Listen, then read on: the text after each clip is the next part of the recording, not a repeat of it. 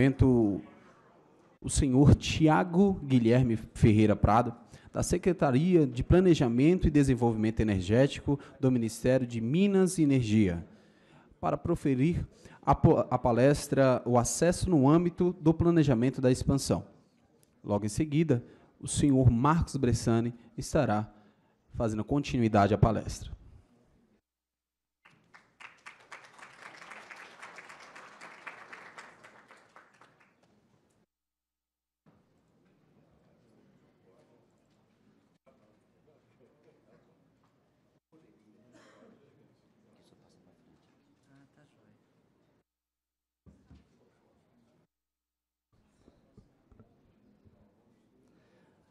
Bom, boa, boa tarde a todos. É, a primeira apresentação depois do almoço sempre é mais complicada. Né? Espero, espero mantê-los com a atenção é, presa aqui na, na apresentação. É, primeiro, quero agradecer a ANEL de novamente ter tido a sensibilidade de identificar o Ministério como um dos, uma das partes interessadas nessa discussão. A gente tem vários processos que é, têm fronteira com a atividade regulatória, então, assim, precisa, a gente sempre tenta ter um cuidado de, ao tentar desenhar uma portaria do Ministério, é, não estar tá invadindo o espaço da regulação e também de participar dos processos da agência de forma sempre a sinalizar quando a gente entende que uma regulação pode estar tá, avançando numa questão de política pública. Então, novamente, eu agradeço a, o convite e também gostaria de, já adiantando, agradecer a presença da EPE e de compartilhar esse espaço conosco aqui no Ministério sobre esse tema. Bom, é, o desenho da, da apresentação, a gente, a gente ficou, confesso que a gente ficou no conflito de tentar ou fazer algo no desenho da inovação ou, no, ou algo no, na linha de é, apresentar o, assim as grandes, as grandes dificuldades que a gente tem hoje. Então, a gente preferiu seguir a linha da, de levar, mostrar os pontos que a gente sente dificuldade na, na, no dia a dia e, quem sabe, num segundo momento, fazer uma discussão mais aprofundada com relação é, aos desenhos de processo, principalmente com relação aos desenhos de leilões é, e com leilões com aplicação de margem. Então, é, bom, pouco reforçando o papel do Ministério, né? O Ministério da Atividade de Planejamento é uma atividade típica de Estado, uma atividade constitucional. É, ele é responsável pela formulação, planejamento e implementação de ações em políticas públicas. E, para isso, ele, é, ele tem uma empresa vinculada, que é a Empresa de Planejamento Energético, que é a empresa que desenvolve todos os estudos e subsidia é, os problemas que o Ministério traz para tentar resolver. Então, é, sempre de mão dadas, vamos dizer assim, nas, nas grandes discussões do, do setor. Para essa apresentação, então, a gente trouxe com o tema de acesso e conexão é, quatro grandes temas. Né? É, no final vai ter mais umzinho, é, que é alteração de característica técnica, que eu entendo que não é bem um problema de acesso e conexão, mas ele resvala é, nesse, nesse assunto. É, então, são consumidores livres, então são aqueles que são abrangidos pelo decreto 5597, autoprodutores, que tem uma leve menção no final do decreto, de, e isso gera uma confusão. Existe aí um gap entre o, o, que a gente, o que o Ministério tem regulamentado com o que é a regulação da ANEL e ainda com as orientações de acesso que estão lá é, no operador. É, os leilões de geração, com e sem margem, e os leilões de transmissão. Então, o, a questão do acesso no decreto 5597, esse é um fluxograma geral é, do processo, as informações estão, dispostas lá no site. É, basicamente, a gente faz uma primeira rodada de interação com o agente, é, entendendo a viabilidade é, é, de avançar com o acesso, a gente pede, a gente entrega as informações de localização, é, tipo de planta, atividade para a EPE, já também como uma forma de insumo para o planejamento da, da, da app, e pede como devolução, então, a base de dados que, que nos apoia para fazer os estudos elétricos. Esse, é, eu vou dizer que talvez seja o único processo que tem dentro do Ministério que seja assim extremamente técnico, é uma atividade, como dizer assim, ela compete com atividades que são desenvolvidas pela EPE e pelo ONS. E mais para frente a gente vai entrar nesse ponto um pouco com a nossa visão de uma tentativa de desburocratizar e simplificar processos. Né? Mas seguindo aqui o processo vigente hoje, a gente recebe então essa base da app, faz uma discussão com, os agente, com a gente, discute alternativas e é feito então um estudo de mínimo custo global. E esse estudo pode originar ou não uma portaria do Ministério e, entendo uma portaria, a sequência desse processo é ter um parecer de acesso do ANS e, e uma autorização da ANEL. Bom, aí é, eu botei aqui um, um tentar assim, um problema do duplo chapéu, né? É, é um apelido que a gente deu dentro do ministério, mas assim, você tem o agente às vezes se aproveita das possibilidades. Então ele pode se enquadrar como consumidor livre e ele tenta instruir um processo de acesso no ministério e identificando então que o acesso não é bem exatamente aquele que ele imaginou, então ele pleiteia uma rotina de acesso como autoprodutor.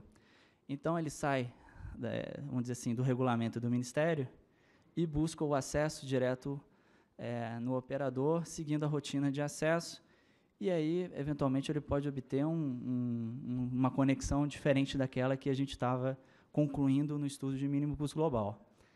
Então, existem casos em que o agente tem os dois atos. Ele tem a autorização da ANEL como autoprodutor e também uma portaria do Ministério como consumidor livre.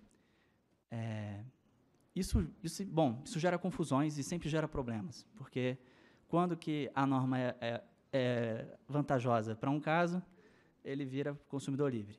Quando é vantajosa para ser autoprodutor, ele usa o ato como autoprodutor. Então, a gente enxerga que isso é um, é um problema que a gente deve trabalhar melhor junto com a agência. Né?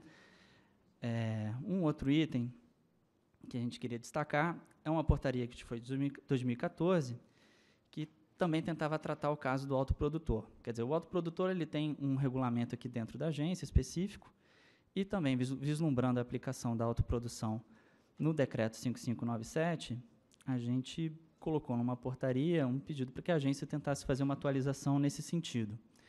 Tentando resolver esse problema do autoprodutor, que, que a gente buscou como uma solução intermediária para evitar um conflito com a atividade da agência, enquanto a gente não tem nada, vamos dizer assim, escrito, né?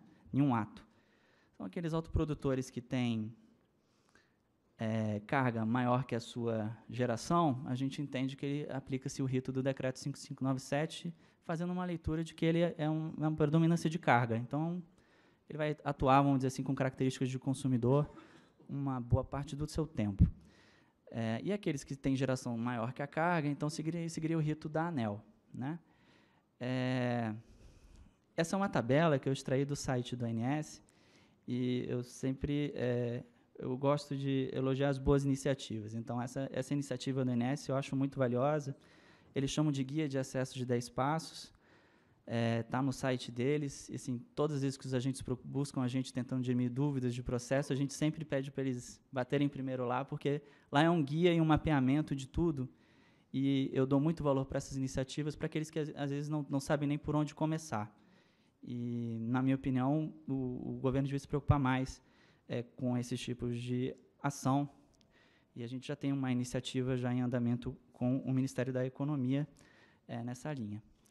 Mas voltando ao problema em questão, veja, a gente tem um, uma lacuna, uma lacuna entre o que o Ministério executa e o que a ANEL é, também enxerga, e na, opera, eh, na operação, a gente já tentando resolver o problema, a gente cobrou muito do ANS, então isso já aparece como uma terceira solução. Quer dizer, existem aí é, uma coisa que a gente precisa trabalhar e talvez agora colocar no papel e pensar qual é a melhor forma de trabalhar esse potencial conflito. Dessa forma que está aqui, à medida do tempo, a gente identificou que a gente não tem tido mais problemas assim com esse, é, vamos dizer assim, esse dilema de consumidor versus autoprodutor. Dentro do. Bom, voltando à questão do, do decreto, a gente tem uma agenda positiva para o biênio. É, a gente destacou uma pessoa da nossa equipe, não sei se está aqui, é o Lucas. Ele está assim, focado é, nessa questão. A gente tem a intenção de modernizar alinhar os conceitos do decreto 5597. A gente sabe, teve um esforço muito grande da agência em tentar é, regulamentar esse decreto. É, a gente quer avaliar a possibilidade de uma política pública específica para polos industriais, é, ou incluindo os portos organizados. E essa é uma iniciativa que a gente está provocando também é, o Ministério da Economia. é, para tentar avaliar o, o, problema, o desenho benefício de uma ação de política pública para isso, é, no sentido de otimizar o compartilhamento de infraestrutura e os insumos energéticos. Quer dizer, não estou falando só de energia elétrica, a gente pode estar falando de compa é, compartilhamento de vapor, gás é, e outros insumos dentro de um polo. Né? E aí é, é, fundamental essa discussão interministerial, porque a gente pode tentar uma abordagem também com relação aos impostos, a questão de impostos e, e tarifas, né? É, isso significa então é trabalhar com sinergia, produtividade e competitividade. São, acho que a, a agenda do dia é pro, do, do novo governo, né? É, a desburocratização do processo de delegação, a gente entende que também é um processo moroso. Acho que a, a apresentação da, da Abrace, eu, eu, esperava alguma coisa nesse sentido, mas o, como o, o Pedrosa bem pontuou de manhã, é, são pouquíssimos os novos projetos que aparecem para nós. É, a gente tinha uma demanda de 10 a 8 projetos por ano. Hoje a gente trabalha com um, dois, é, no máximo. Né? Alguns acabam até desistindo durante o processo, na medida que é, né, os indicadores da economia é, não revertem a, o cenário, né? um cenário meio que estagnado. É, então, a gente tem essa proposta de redesenhar o processo no sentido de desburocratizar, e aí é tentar, talvez, eliminar etapas e avaliar de qual, como vai ser a melhor forma, se precisa de ter mesmo uma portaria do Ministério, se a gente pode abrir a mão dessa portaria, é, alocar esses estudos na app, como que a gente vai fazer esse trabalho. A preocupação desses acessos não virarem, não caírem dentro de grandes estudos, às vezes grandes estudos com grau de complexidade, que às vezes demoram um ano ou um pouco mais, então, às vezes, o, a necessidade do, do, do, do, agente é diferente do, do, timing de um estudo de planejamento regional. E essa é uma preocupação que a gente tem para poder avançar numa delegação desse tipo. É, um item importante que a gente deve discutir com a agência é a questão do livre acesso, assim, até, até quando ele é livre, é, e a liberdade na escolha do serviço fio daquele do, do agente. É, será que a gente precisa comprovar o mínimo custo global ou ele deveria ter a opção de escolher qual serviço que ele quer entrar? Se ele quer ter, se ele quer o serviço de distribuição ou se ele quer o serviço de transmissão.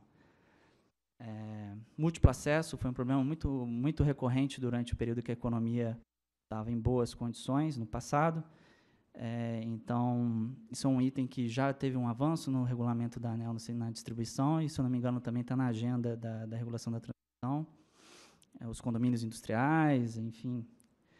É, avaliação do impacto na redução do limite da carga do consumidor livre. Foi uma política é implementada pelo Ministério no final do ano passado. No entanto, a gente não fez a avaliação do impacto dessa redução com relação a, a aplicar é, o decreto 5597. E, de certo, a gente talvez tenha que rever é, é, como é que esse acesso vai se dar, já que a gente tem diminuído paulatinamente, a intenção é diminuir paulatinamente é, é, o limite de carga do consumidor livre. E, por fim, um item que assim, sempre é, gera uma discussão entre a agência, o Ministério e a própria empresa de planejamento é a transferência de ativos sob responsabilidade de um consumidor ou autoprodutor para a rede básica. Então, até quando esse, essa transferência tem um benefício para o consumidor, não vira só uma mera exportação de custos para os usuários do, da rede. É, isso também não está muito claro no decreto, tem determinação e nós entendemos que vale a pena, é um item que vale a pena estressar com, com a agência. Um outro item que assim passou uh, pela manhã, pelo menos batido, e, enfim, instalações de interesse exclusivo de centrais de geração para conexão compartilhada, as famosas ICGs. Né? Então, eu, eu coloquei uma provocação, é uma boa má ideia. É, porque o, ela, ela é meritória, ou seja, ela, a gente entende que ela te, tem seu mérito, a filosofia da, da proposta da ICG, porém a forma com que ela foi implementada e, de, e desenhada não levou a gente a bons resultados. A gente tem é, bons e maus resultados, mas na balança tem mais maus resultados do que bons. Né? Então a gente consegue tem a gente consegue puxar histórias de todos os lados, assim sistemas que estão foram licitados e ficaram ociosos que ao longo do tempo foram recebendo acesso é, tanto de geradores quanto da, das, das, próprias distribuidoras. Tem CGs que foram desenhadas e acabaram é, assim, recebendo mais acessos do que inicialmente foram identificados no planejamento. Então, é o dilema na alocação dos riscos e exportação de recursos dos usuários de rede para os consumidores. Quer dizer, essa, dificuldade na, execução também levou à transferência de, de recursos né, entre o acessante e os usuários da rede. E essa alocação, então, a gente, assim, se mantida essa política, então a gente deve rediscutir a alocação. E a gente estava numa, numa borda do problema, em que o problema era todo gerador, Aí a gente tentou resolver o problema transferindo é, para os serviços de transporte e agora acho que a gente está na etapa do bom senso, que é tentar chegar e achar o ponto de equilíbrio. É, e aí essa questão, redesenho da política pública ou abandono? Hoje, na prática, é um abandono, né, na medida que é, a EP tem desenvolvido esse, os estudos, e acho que o Bressani vai entrar com mais detalhes, nessa questão do desenvolvimento, vamos dizer assim, mais proativo do, do, do, do sistema de transmissão. Mas, de toda forma, eu acho que esse é um recurso que não deveria ser assim plenamente abandonado. Ele pode, ele pode ser utilizado em alguns casos específicos, e aí vale é, essa necessidade da gente rever, né? reavaliar sob novas bases, ou é, eventualmente abandoná-la, se essa for a decisão do Ministério. Outro item que acho que merece destaque é reforços em CGs e margens de escoamento. Essa, essa discussão surgiu é, de uma reunião que a gente teve com o NS é, e a ANEL, é, discutindo um pouco as questões de contratação, e a gente viu um pouco aquele dilema do Toshines, né? quem nasce primeiro?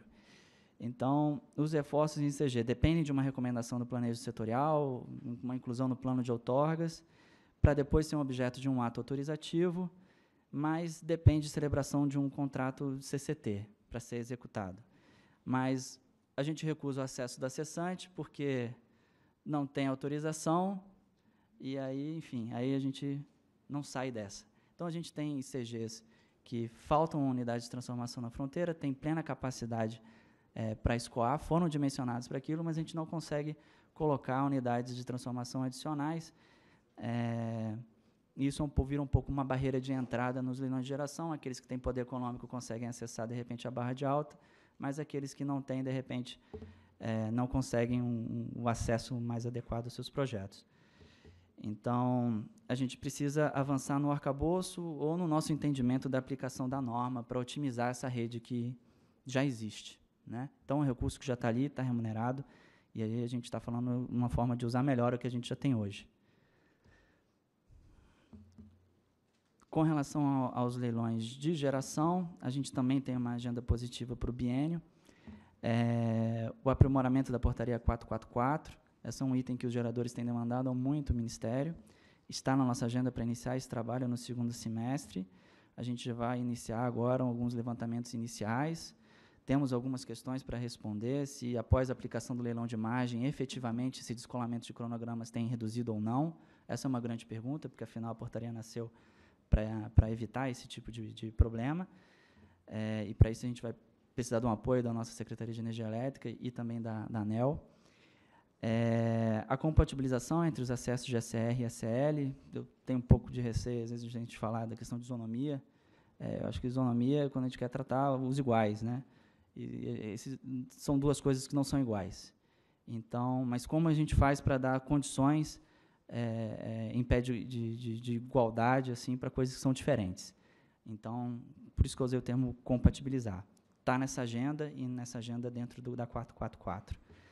É um item que já foi também discutido, projetos híbridos ou regiões com múltiplos acessos com diferentes fontes de energia.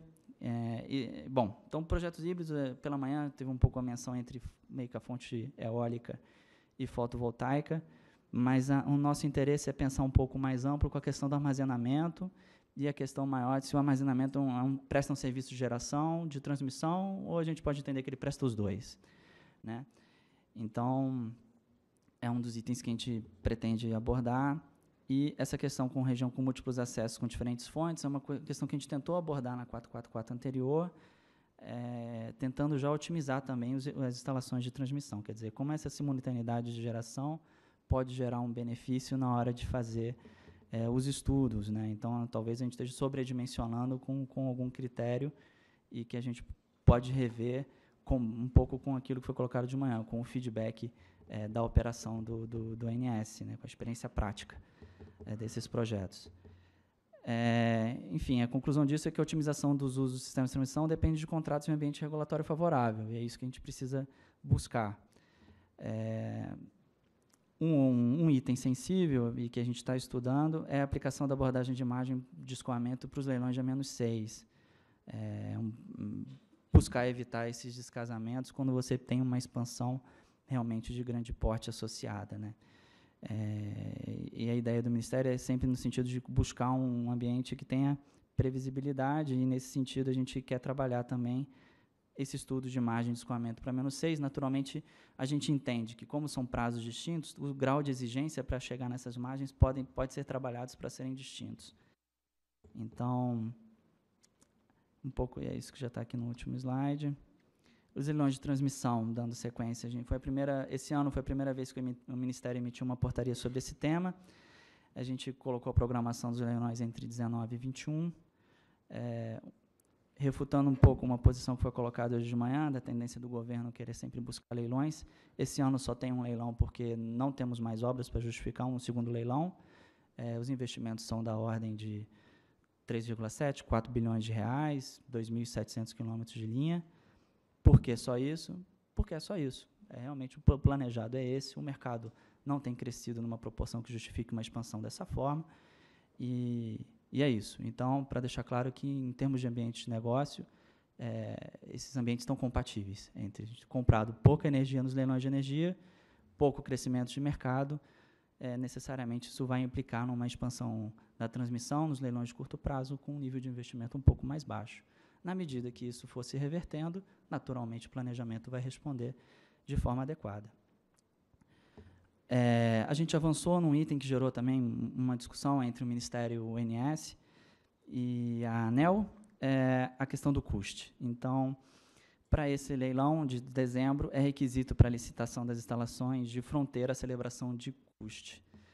E a gente identificou que havia um descasamento, a gente licitava, essas empresas antecipavam que tem interesse em antecipar os contratos e o acessante muitas vezes não consegue chegar naquela data ou sinaliza uma data na etapa de leilão e depois sinaliza uma segunda data já numa etapa depois do contrato. Isso tem gerado um desafio na gestão contratual da agência. A gente teve uma, uma profunda discussão com relação a, a, a, ao mérito de, de pensar num, nesse assunto, mas é, buscando um ambiente de negócios saudáveis para o leilão de transmissão, ou seja, sinalizar com um mecanismo de antecipação que no final a, os agentes podem entender que não, não funciona na prática. E, e foi, um, acho que, um dos elementos que fez diferença é, na mudança é, que a gente, no cenário que a gente tinha, não muito favorável, os resultados ruins que a gente estava tendo nos leilões em um, alguns anos atrás, que isso foi revertido. Esse, eu acho que foi um dos itens que também ajudou a fazer diferença. Então, para manter esse ambiente de negócio saudável, a gente está tentando um remédio e é nesse sentido que a gente tentou trabalhar com, do, com o custe com as distribuidoras. É a primeira experiência, então a gente vai acompanhar para ver a efetividade também desse tipo de ação. É a portaria 481, é, de 18, alterações de características técnicas, o Ministério ele praticamente saiu desse processo, é, numa linha de desburocratizar e simplificar, mas a gente queria deixar a reflexão da necessidade desse processo ou mudança de abordagem. Quer dizer, será que a gente precisa ficar calculando perdas elétricas em linhas, para comprovar a, a, entrega de um compromisso que um terceiro assinou um contrato dizendo que vai fazer? Será que a gente não podia mobilizar essa, assim, essa força de trabalho que é limitada em quantitativo, tanto no Ministério, na ANEL, na EPE, para fazer outras atividades, ao invés de a gente ficar checando o tamanho de aerogerador, com sombreamento entre, entre unidade de geração. Quer dizer, será que a gente não pode mudar essa abordagem? Está entregando o que foi contratado ou não? Se não, quais são as penalidades de forma aplicada de forma efetiva? É um, uma provocação, né? E é isso, obrigado.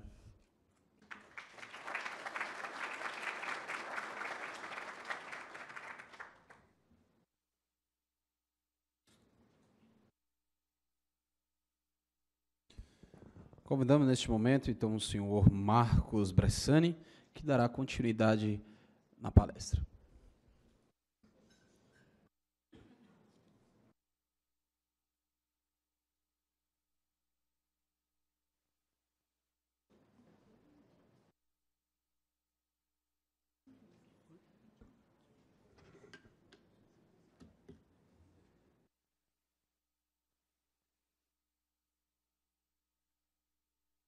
Boa tarde a todos e a todas.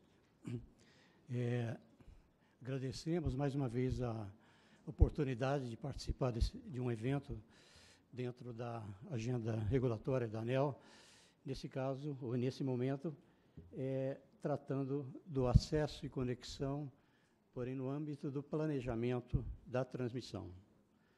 É, esse é um tema que já foi, é, de certa forma, discutido aqui na parte da manhã, no que se refere às dificuldades do, da, de se planejar a expansão da transmissão. Nós vamos retomá-lo aqui é, para uma tentando é, é, elencar os itens que é, caracterizam essa dificuldade no planejamento da expansão da transmissão.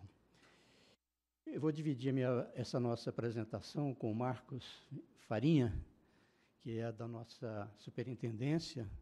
Ele trabalha tanto nos estudos de planejamento da expansão, como também ele é o coordenador, é o nosso ponto focal nos assuntos que se refere a acesso e conexão internamente é, no processo de habilitação técnica dos leilões da, das usinas, no, sempre no assunto de conexão, né, que é a nossa atribuição. Também é o nosso ponto focal nas interações com o operador, com o NS, nos assuntos referentes às premissas para os cálculos das margens, que é objeto de uma atividade conjunta EPE-ONS, que subsidia, então, o cálculo das margens que é feito pelo ONS.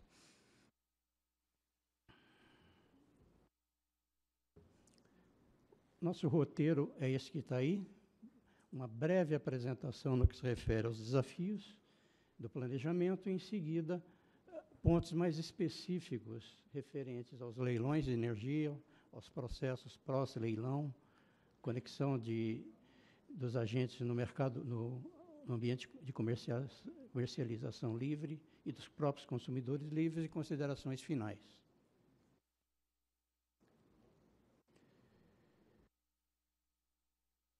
Enunciado geral desse desafio do planejamento da transmissão poderia ser o que está aí mostrado. Planejar e implantar uma rede segura, resiliente e adaptável a uma expansão indicativa da geração. Eu friso indicativa.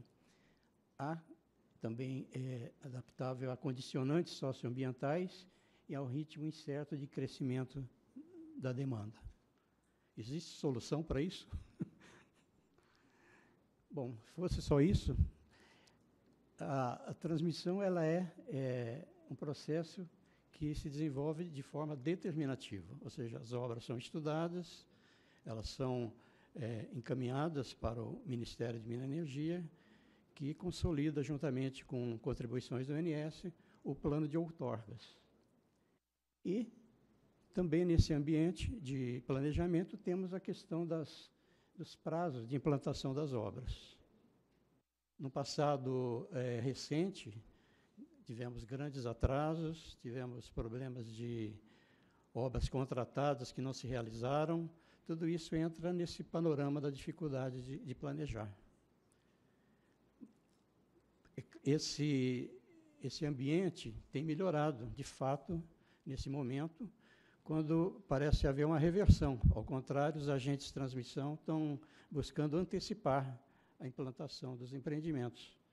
Isso daí surgiu também pela forma é, de, de contratação que dão dando exatamente um incentivo econômico financeiro para os agentes é, é, cogitarem da, da antecipação de obras. Mas, por outro lado, nós temos também a antecipação das obras de geração. Então, a gente volta a ter o problema. Eu antecipo aqui, mas também antecipo a geração, e o problema de uso da rede continua é, ocorrendo. Agora, de forma nenhuma, a gente é, a gente está sempre buscando atender os critérios de segurança, como está colocado ali. Então, a, o, o custo mínimo global está presente sempre na análise e o, uma avaliação do, de arrependimento das soluções faz parte do processo. Ociosidade não existe nesse sentido. A rede ela está planejada de acordo com os critérios de segurança do sistema e procurando ao máximo acompanhar a, a expansão, seja da carga, seja da, da, seja da implantação das fontes, procurando ao máximo. E daí, então, é o que a gente trata em seguida, é como, como fazer isso. Né? No que se refere à, à geração, quer dizer, no mais é, curto prazo, vamos dizer, o ambiente dos leilões A-3, A-4, como já foi falado aqui, a consideração de, do cálculo das margens de escoamento tem sido a forma de se procurar ao máximo adequar o, a capacidade de escoamento dos, da, dos potenciais geradores nos pontos em que eles se cadastram para o leilão. Esse tem sido o processo. As premissas desse cálculo têm evoluído. Mais recentemente, tem, para esse eh, próximo leilão, por exemplo, há pontos eh, bem claros dessa eh, mudança, flexibilizando, mas, naturalmente, maior flexibilidade significa mais risco. Ou seja, se não tivéssemos cálculo de margem, teria o, o nível máximo de risco para a conexão dos geradores. Colocando margem, a gente limita, mas e à medida que vai flexibilizando, novamente os riscos podem continuar aparecendo. Agora, uma forma é certamente fazer é, uma antecipação do sistema de transmissão dentro do que a gente coloca de estudos prospectivos para a expansão desse sistema. Esse, essa antecipação, esses estudos, são possíveis e tem sido, quer dizer, no, no passado, de 10 anos ou, ou mais anteriormente, a gente não tinha uma base de dados perdão, adequada.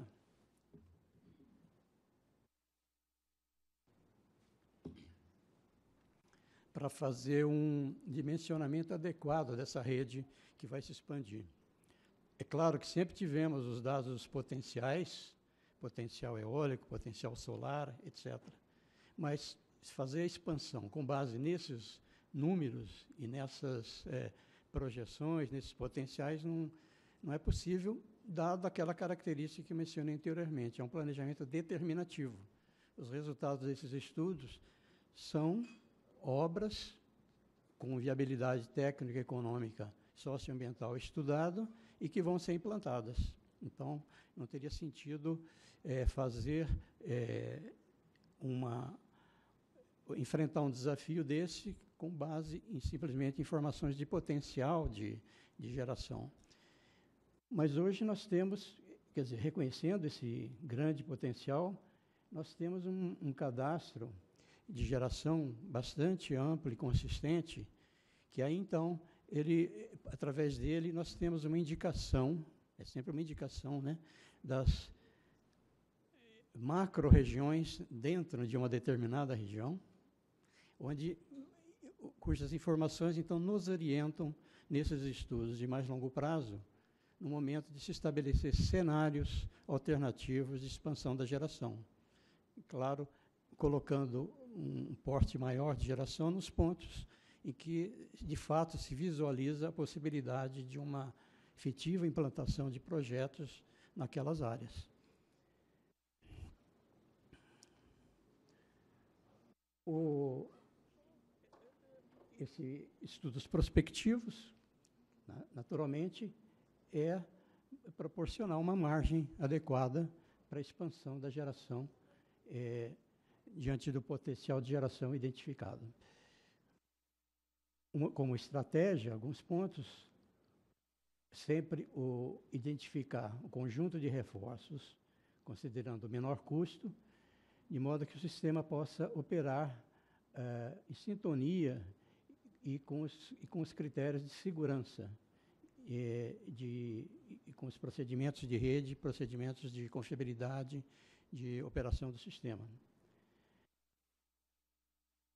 Ele estudo visa também conciliar a expansão da rede, é, visando a integração do potencial prospectivo é, com o atendimento do crescimento de mercado das, das regiões.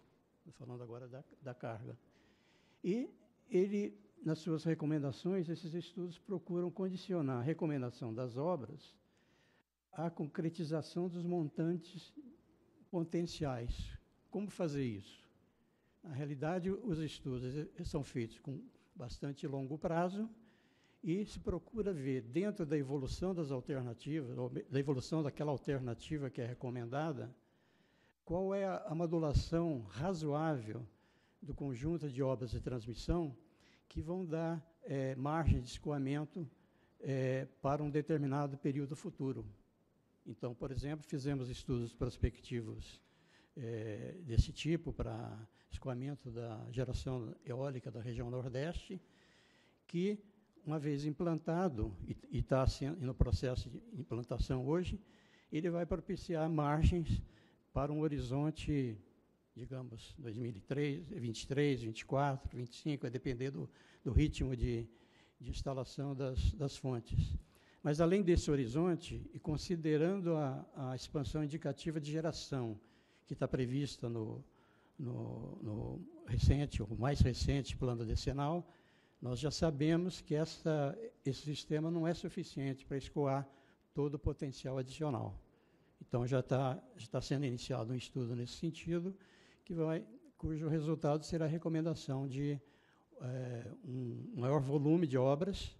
Então, novamente, é, como nós estamos vendo no processo dos leilões, tivemos um grande número de, de, de tivemos leilões com um grande número de empreendimentos que foram contratados, que pode gerar a sensação de ociosidade ou de demasia de, de, de linhas de transmissão, mas na realidade eles são calcados em estudos que foram efetuados. Agora, nos próximos leilões, como falou o, o Tiago, já não vai se ver um volume tão grande de contratação. Mas, em seguida, fruto desses novos estudos, é possível que tenhamos novamente um volume grande de obras, de obras de grande porte, de grandes investimentos, que vão voltar à tona no processo de contratação. Finalizando essa primeira parte, essa, esse slide simplesmente ele, ele ilustra né, todos esses aspectos que eu mencionei, passando aqui pelos vários aspectos, seja do lado dos consumidores, seja do lado dos empreendedores, também citando o plano decenal, que dá uma indicação das obras, e também colocando ali a questão dos planos de governos estaduais. Nesses estudos de planejamento, a gente tem contato com as, eh, os órgãos de infraestrutura, secretarias de energia e os outros órgãos estaduais, no sentido de mostrar os estudos que nós estamos fazendo, sensibilizá-los para as, as, alternativas e para, a importância né, da expansão da rede de transmissão em cada estado, entre outras obras de infraestrutura. E, completando esse slide, colocamos aqui as, os aspectos referentes aos leilões. O aspecto referente ao pós-leilão e a contratação das, dos empreendedores do Mercado Livre. Esse ponto, então, eu, eu passo para o, para o Marcos Farinha, que ele certamente pode é, compartilhar com de, maior detalhe toda a experiência que ele tem tido nesses últimos anos nessa questão dos leilões.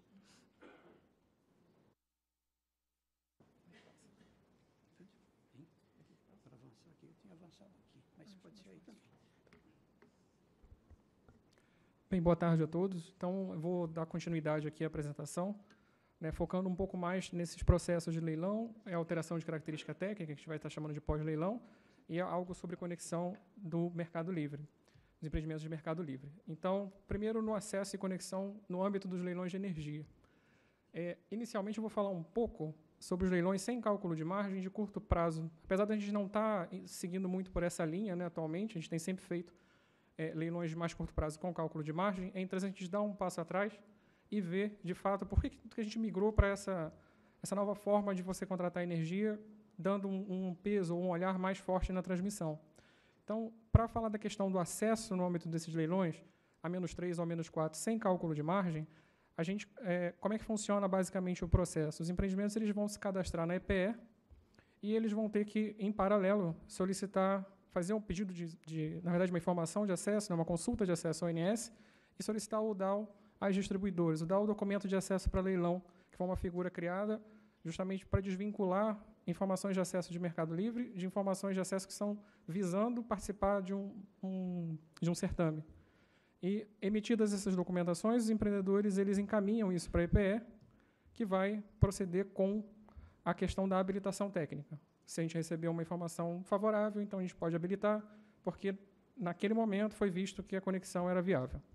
E ali está frisado o, que o leilão é sem cálculo de margem. Então, eu não tenho um, uma espécie de filtro para a conexão daqueles empreendimentos após eu conhecer os vencedores. Então, o que pode acabar acontecendo é que o, o conjunto de empreendimentos que se sagrar vencedor num determinado ponto, ele pode esgotar aquela capacidade, já que ela não foi vista de uma forma conjunta, ela, na verdade, é vista de forma individual. Então, provavelmente, individualmente, aquele empreendimento ele tem capacidade, mas quando você observa o resultado você acaba vendo que não tem é, capacidade de escoamento. E, paralelo a isso, você tem os empreendimentos do ACL que estão alheios a esse processo e podem estar querendo disputar essa capacidade de transmissão, esse acesso, no mesmo ponto daqueles vencedores. E isso chama um sinal de alerta e traz uma série de questionamentos é, que a gente vai vou colocar um pouco mais à frente. E é justamente por conta dessa possibilidade de congestionamento na rede e de você não ter um filtro no leilão, é que a gente passa, então, a tratar leilões com cálculo de margem. Então, de uma certa forma, eu precalculo a capacidade do sistema e não deixo contratar mais do que efetivamente cabe. Então, da mesma forma, né, seguindo o processo, os empreendedores, quando eles vêm cadastrar na EPE, o processo na distribuidora é o mesmo, então ele vai ter que pedir uma, uma informação de acesso, nesse caso específico é o DAO, não é a mesma informação que a distribuidora emite no processo de é, conexão para o Mercado Livre, por exemplo, e a EPE faz, então, uma série de interações e consultas com o INS, subsidiando ele com as informações que ele precisa para poder fazer esse cálculo da margem, com as distribuidoras, é, fazendo consultas sobre aquelas conexões que foram é, cadastradas né, no nosso sistema de AEG, e coletando quais são as fronteiras que são a, afetadas por aquela injeção de potência, para que o INS faça análise disso para a rede básica, e a fronteira, com as transmissoras para poder verificar a questão do acesso físico em cada uma das instalações. E, nesse processo, assim que o INS termina toda essa avaliação, ele emite uma nota técnica que tem os valores das margens, que são essas capacidades que vão ser disputadas pelos empreendedores. E a gente procede com a habilitação técnica para que eles possam participar do leilão. Então, esse, essa, esse cálculo de margem ele já atua como um certo filtro. Então, eu estou tentando, na verdade, me antever para não contratar mais do que cabe num determinado ponto. Mas ele é um, um, um, filtro que ele não, digamos assim, resolve todos os problemas, mas ele é um grande mitigador de risco. E o que, que, eu tô, o que, que se quer, na verdade, com esse processo? É que lá na frente essa conexão não seja inviável, para que o empreendimento de geração esteja pronto e não consiga escoar a sua energia. Mas, da mesma forma que ocorre com o leilão sem cálculo de margem, eu tenho empreendimentos do ACL, que estão com um processo paralelo também. E aí pode acontecer uma restrição similar. É óbvio que a gente está mitigando um pouco toda aquela, né, toda aquele, é, aquela confusão que existia quando eu não calculo a margem. Mas eu estou resolvendo todos os problemas? Ainda não. Então, é algo que carece de, é, de, discussão e de aprimoramento. E aí foi até bem citado pelo Tiago Prado na apresentação anterior, a gente precisa, de fato, discutir aprimoramentos na portaria 444 e esse acesso do mercado livre, a forma como se calcula a margem, uma coisa está muito ligada com a outra. Então, isso traz à tona também alguns questionamentos. E quais os pontos né, que a gente coloca aqui? É que essa avaliação do acesso para fins de habilitação técnica, na rede de distribuição, ela continua sendo individual, de qualquer forma, tanto no leilão com cálculo de margem ou sem cálculo de margem. Com a diferença que quando você tem o cálculo de margem, esse rabatimento na fronteira ele vai, pode travar um conjunto de empreendimentos, mas ele ainda não resolve a questão na rede de distribuição. Sem cálculo de margem, o problema é muito maior. Então, a tendência de fato é que a gente vá investindo em leilões e que eu faça esse cálculo anterior. É, para instalações de rede básica de TI ou ICG, essa avaliação é feita pelo INS e publicado né, aqueles, os valores os quantitativos dessas margens. Na rede de distribuição, a gente requer esse documento de acesso do leilão, mas a análise é individual e o objetivo, na verdade, é que a distribuidora aponte algum tipo de restrição na própria rede, porque não, não é prerrogativa do INS fazer a avaliação da rede de distribuição, apenas da fronteira, rede básica de ITCG. E, ah, no caso dos leilões é, sem cálculo de margem, ou mesmo nos cálculo, no cálculo de margem, como essa análise do acesso na rede de distribuição ela não é conjunta, ela continua sendo individual, então ainda pode ter um resquício de congestionamento na rede, especialmente na distribuição. Porém, a maior quantidade de cadastramento, acho que cerca de mais de 90%, é de fato na rede básica é, DIT ou ICG. Então, a gente está é um problema que ele é específico da rede de distribuição, mas ele é de menor é, impacto no âmbito geral do leilão. E a, essa questão da disputa da margem, ela é um mitigador de risco. Ela não, não é eliminação de risco. Lembrando que quando se calcula a margem, são adotadas premissas e critérios. Se, por acaso, a, a transmissão que foi considerada na topologia de referência ela atrasar, então aquele cálculo de margem ele pode ter alguma alteração no valor que, de fato, vai ser é avaliado durante o processo de acesso convencional com o ONS. E quais são os pontos que são ou desafios ou questionamentos disso tudo? A gente como colocou o Bressani, a gente tem que ficar constantemente acompanhando esses resultados dos leilões, porque a gente vai fazendo a prospecção da evolução da rede, ou fazendo antecipação de obras recomendadas, ou verificando a necessidade de novos estudos, com base nesses resultados do leilão. É, esses prazos de, de da, da transmissão, como já foi colocado, eles estão diminuindo um pouco, mas você também tem a questão da antecipação, dos empreendimentos de geração. Então, a gente acaba que, mesmo que consiga antecipar a transmissão, a geração é muito mais rápida. Então, a gente tem que estar sempre olhando à frente. É, a alteração do ponto de conexão é um, um, tanto durante o leilão, quando é permitido, né, quando, quando, após a realização do leilão, é um ponto também que é muito importante para o planejamento.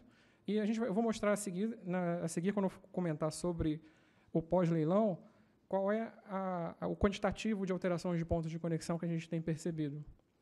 No caso também do cálculo da, das margens, né, foi até comentado aqui sobre uma, uma mudança de premissas ou critérios, né, critérios não, mas mais premissas nesse cálculo de margem, adotando cenários que são, de fato, menos restritivos, mas mais factíveis, que você tem uma probabilidade de ocorrência muito maior.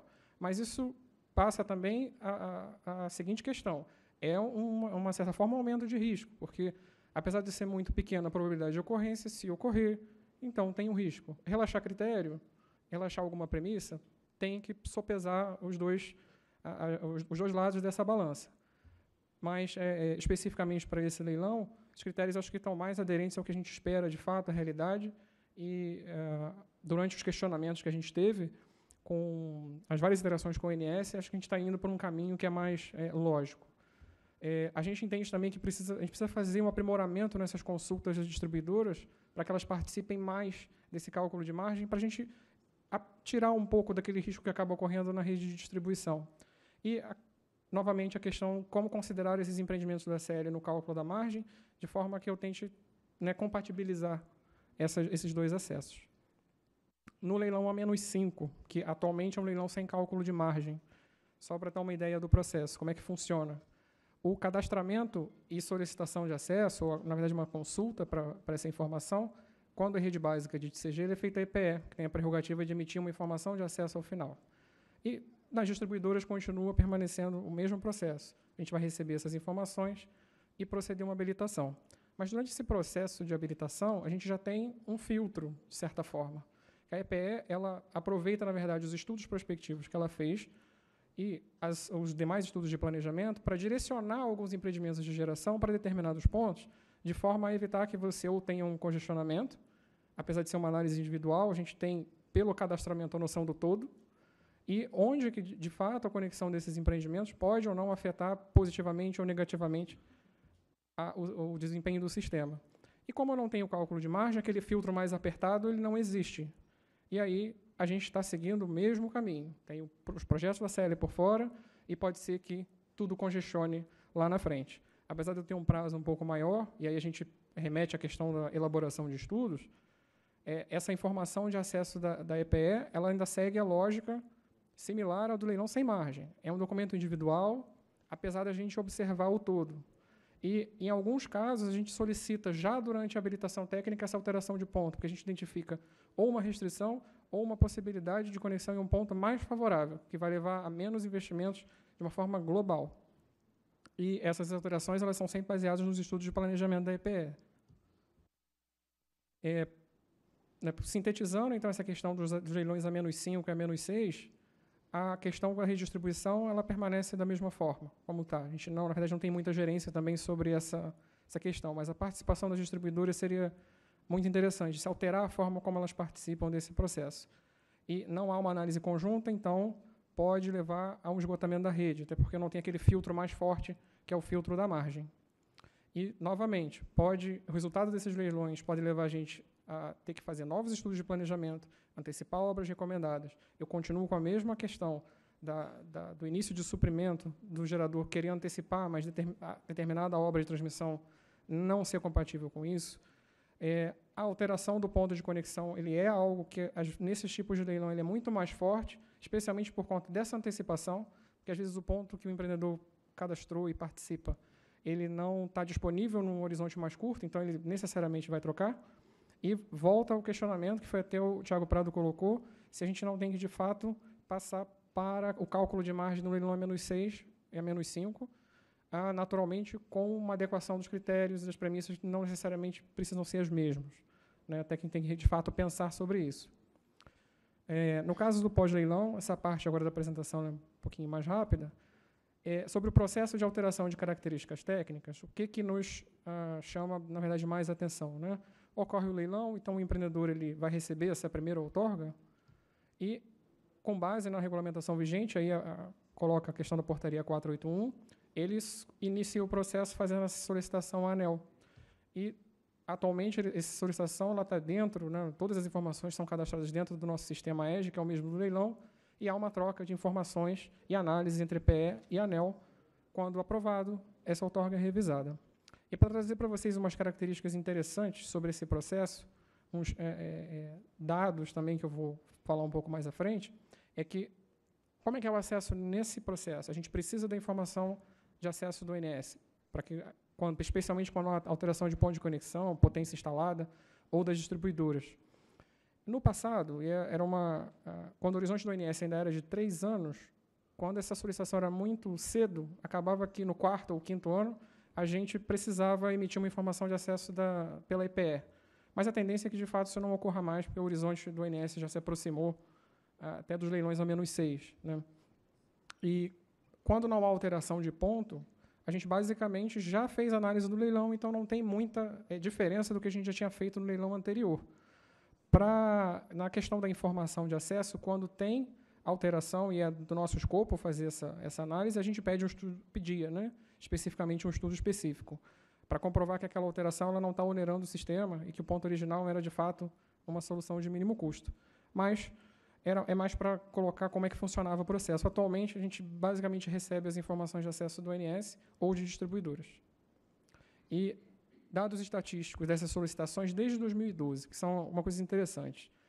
É, desde quando a gente começou a participar, efetivamente, a gente já teve 756 processos de alteração de características técnicas avaliados, sendo que a grande maioria disso é de empreendimentos eólicos, então, em 579. E a gente percebe que 74% desses empreendimentos eólicos participam em leilões entraram com algum processo de alteração de característica técnica, seja para alterar potência, para mudar compartilhamento. E o que nos chamou muita atenção é que mais da metade disso, 55%, altera o ponto de conexão. Então, isso aqui é um dado extremamente importante para o planejamento, para toda a cadeia, mas faz a gente parar para pensar se de fato a gente tem que olhar isso tudo, tudo realmente de fato tem prestar atenção. Será que a gente não está é, burocratizando muitas coisas? Agora, mudança de ponto de conexão é algo que é muito importante. Então, tem que ser olhado porque afeta o planejamento em si. É, no caso de empreendimentos termoelétricos, um terço, mais ou menos, solicita alteração. Mas também a gente não tem muito processo. Eu não trouxe aqui especificamente fotovoltaica, porque não deu tempo da gente juntar todas as informações, os dados são mais novos. Mas a tendência é você ter uma quantidade de troca de pontos similar que as fontes elas acabam antecipando e essa troca de ponto ela é, acaba sendo preponderante. E o que, que essa alteração de ponto ela é importante para nós? É, um, porque ele afeta os leilões de energia corrente. Se você ainda não tem a outorga revisada, mas o ONS está calculando a margem, ele ainda está com aquele é, empreendimento no ponto de conexão que ele ainda não alterou é, na, na outorga em si. Então, isso pode causar algum problema no disponibilização dessa margem do leilão ela pode ser benéfica para o sistema em determinados casos? Pode. Se essa alteração estiver de acordo com os estudos de planejamento, a tendência é que você não vá onerar o sistema, porque aquela situação já foi avaliada. Mas tem casos que não, em que você pode realmente levar a um conjunto de obras muito maior daquilo que estava sendo planejado. Essa questão de alteração é muito forte nos leilões a menos 5 a menos 6 pela questão da antecipação, como eu coloquei. E ela afeta fortemente essas recomendações e estudos de planejamento ou cria necessidade de novos estudos. Então, ele é um ponto que é muito é, é sensível, dado que hoje a troca de essa alteração de ponto de conexão é basicamente livre né, para o empreendedor fazer. Então, é um ponto de atenção para a gente aqui. É, por fim, na questão dos projetos de ACL ou consumidores livres, a IPE basicamente não possui uma participação muito efetiva nesse processo. No, o potencial do ACL ele é conhecido nosso muito pelas interações que a gente tem com os empreendedores, o próprio INS, quando emite parecer de acesso, ele, a gente tem né, é, é, conhecimento dessa, da, da emissão desses documentos, solicitações de estudos por parte das distribuidoras ou os próprios agentes mesmo que entram em contato com a EPE. E consumidores livres, eu não vou meter muito, que o, o Tiago Prado já colocou, mas a nossa participação é basicamente é, conhecer que houve essa solicitação no Ministério, fornecimento de dados, subsidiar com informações, mas esse, dado para nós também é muito é de suma importância para a elaboração de estudos, porque mudança de carga, é, é, alocação desses empreendimentos na rede podem afetar os estudos de planejamento. E nas considerações finais, é, eu volto na questão dos estudos prospectivos da transmissão, que é uma estratégia para a gente poder mitigar esse, essa, esse descompasso entre geração e transmissão, avaliando uma rede prospectiva com base nos dados que a gente tem e nas incertezas todas associadas à expansão da geração. E a gente tem um conjunto de informações muito grandes, que vem dos empreendedores, distribuidoras, transmissoras, agentes do mercado livre, é, consumidores livres, enfim. É um conjunto de dados que a gente tem que considerar para fazer esse tipo de análise. E as incertezas, naturalmente, são muito grandes. Essa questão da alteração dos pontos de conexão, elas aumentam ainda mais essas incertezas no processo de planejamento. Pois a gente tem que ficar, como a gente já participa do processo de pós-leilão, a gente até tem o conhecimento disso. Mas essas alterações, elas chegam em momentos que dependem, na verdade, da iniciativa do empreendedor de geração e afetam tanto os estudos de planejamento quanto os leilões de energia. E é importante a gente discutir, de certa forma, mecanismos ou regras para otimizar esses processos, tanto nos leilões com cálculo de margem, na, no mercado livre, que foram vários pontos já foram citados aqui anteriormente, para a gente poder é, é, compatibilizar todos, toda essa questão do acesso ao ponto de conexão e o rebatimento disso nos estudos de planejamento, nas contratações de leilões de energia. Era, era isso. Obrigado.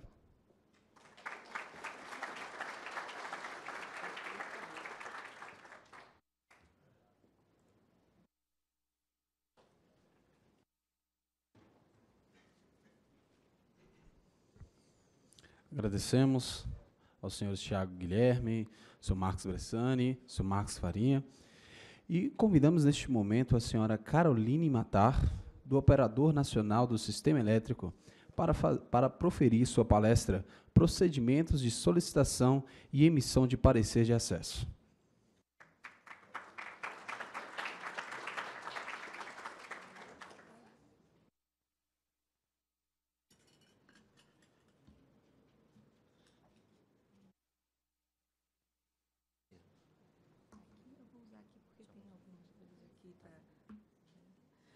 Boa tarde a todos. É, agradecemos pela oportunidade de poder contribuir nesse evento tão importante, de poder ouvir as diversas visões e percepções né, do trabalho que o ONS faz na, na análise e emissão de parecer de acesso, que é um documento tão é, é, importante, tão disputado. É, parecer de acesso é necessário para tudo é necessário na hora da negociação de um empreendimento, na passagem de um empreendedor para outro, na obtenção de financiamento. Então, acaba sendo o principal objeto de desejo de todos os agentes geradores, principalmente.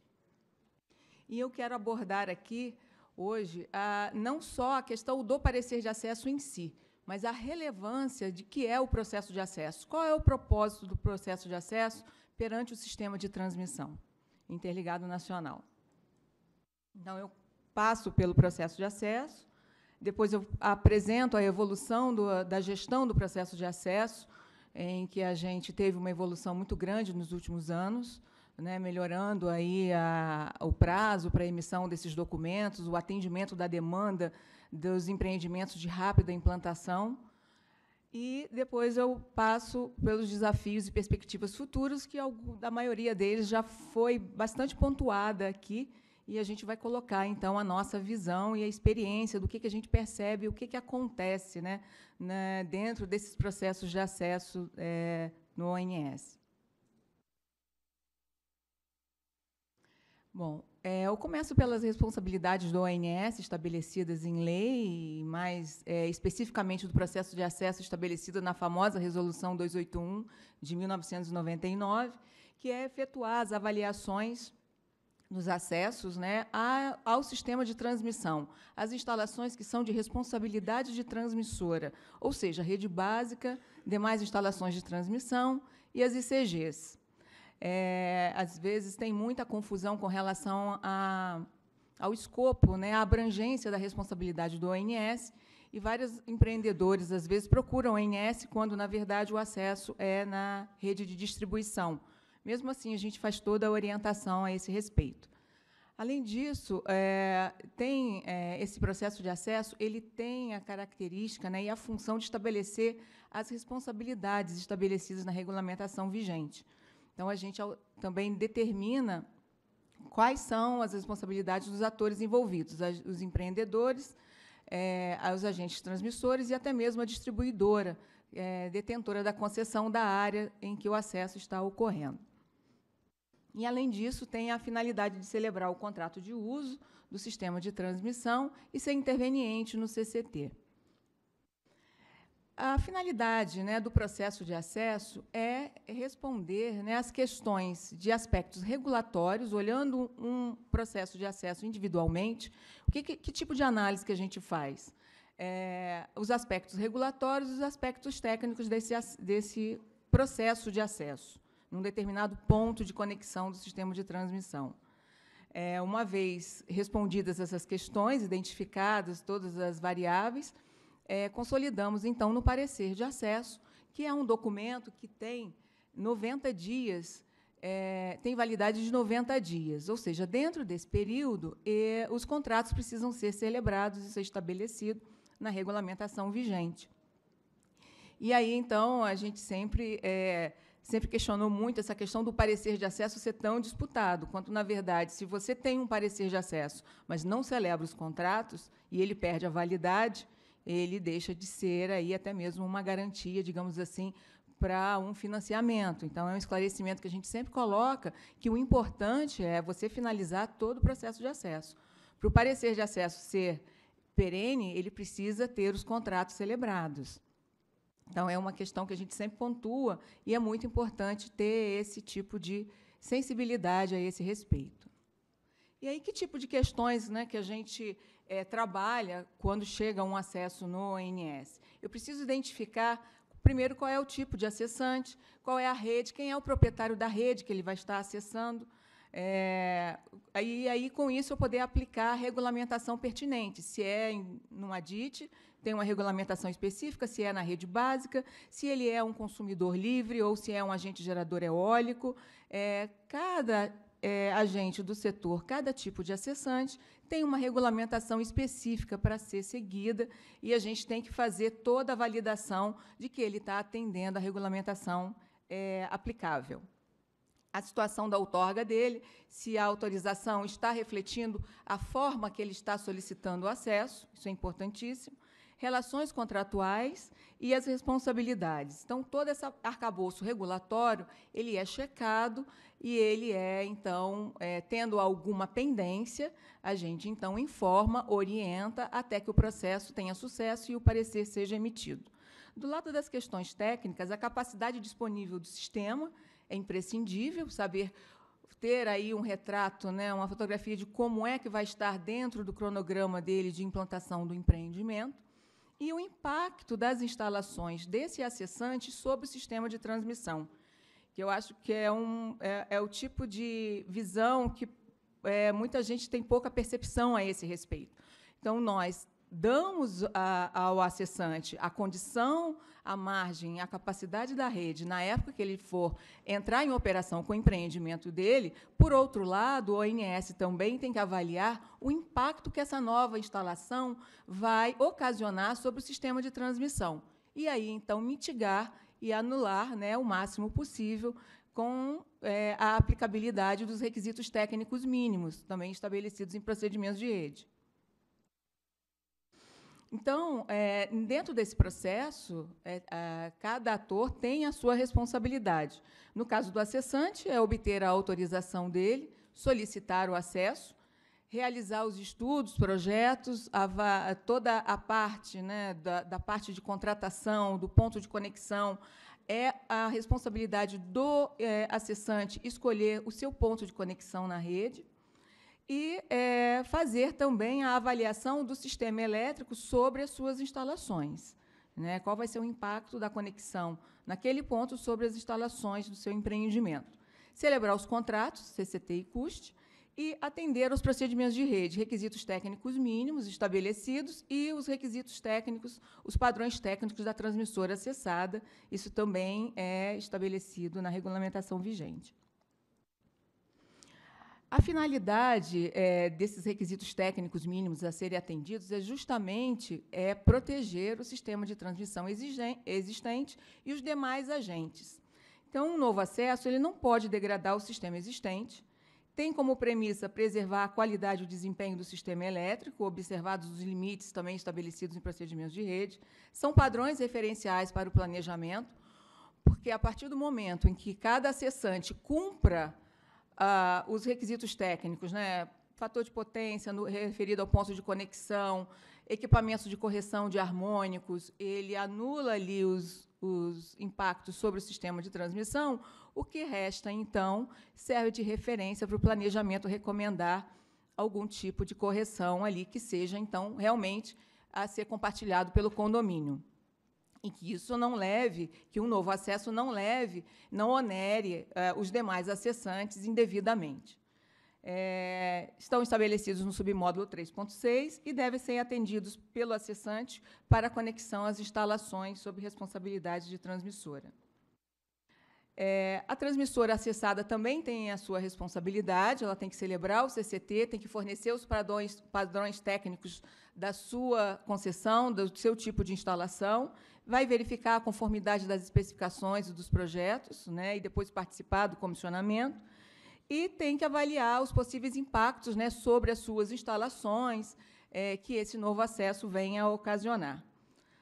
A distribuidora da região também ela é, pode ser é, impactada, e, por conta disso, a gente também é, copia na emissão do parecer de acesso a distribuidora e coloca uma recomendação para que ela faça a avaliação é, desse novo acesso sobre as suas instalações, quando couber.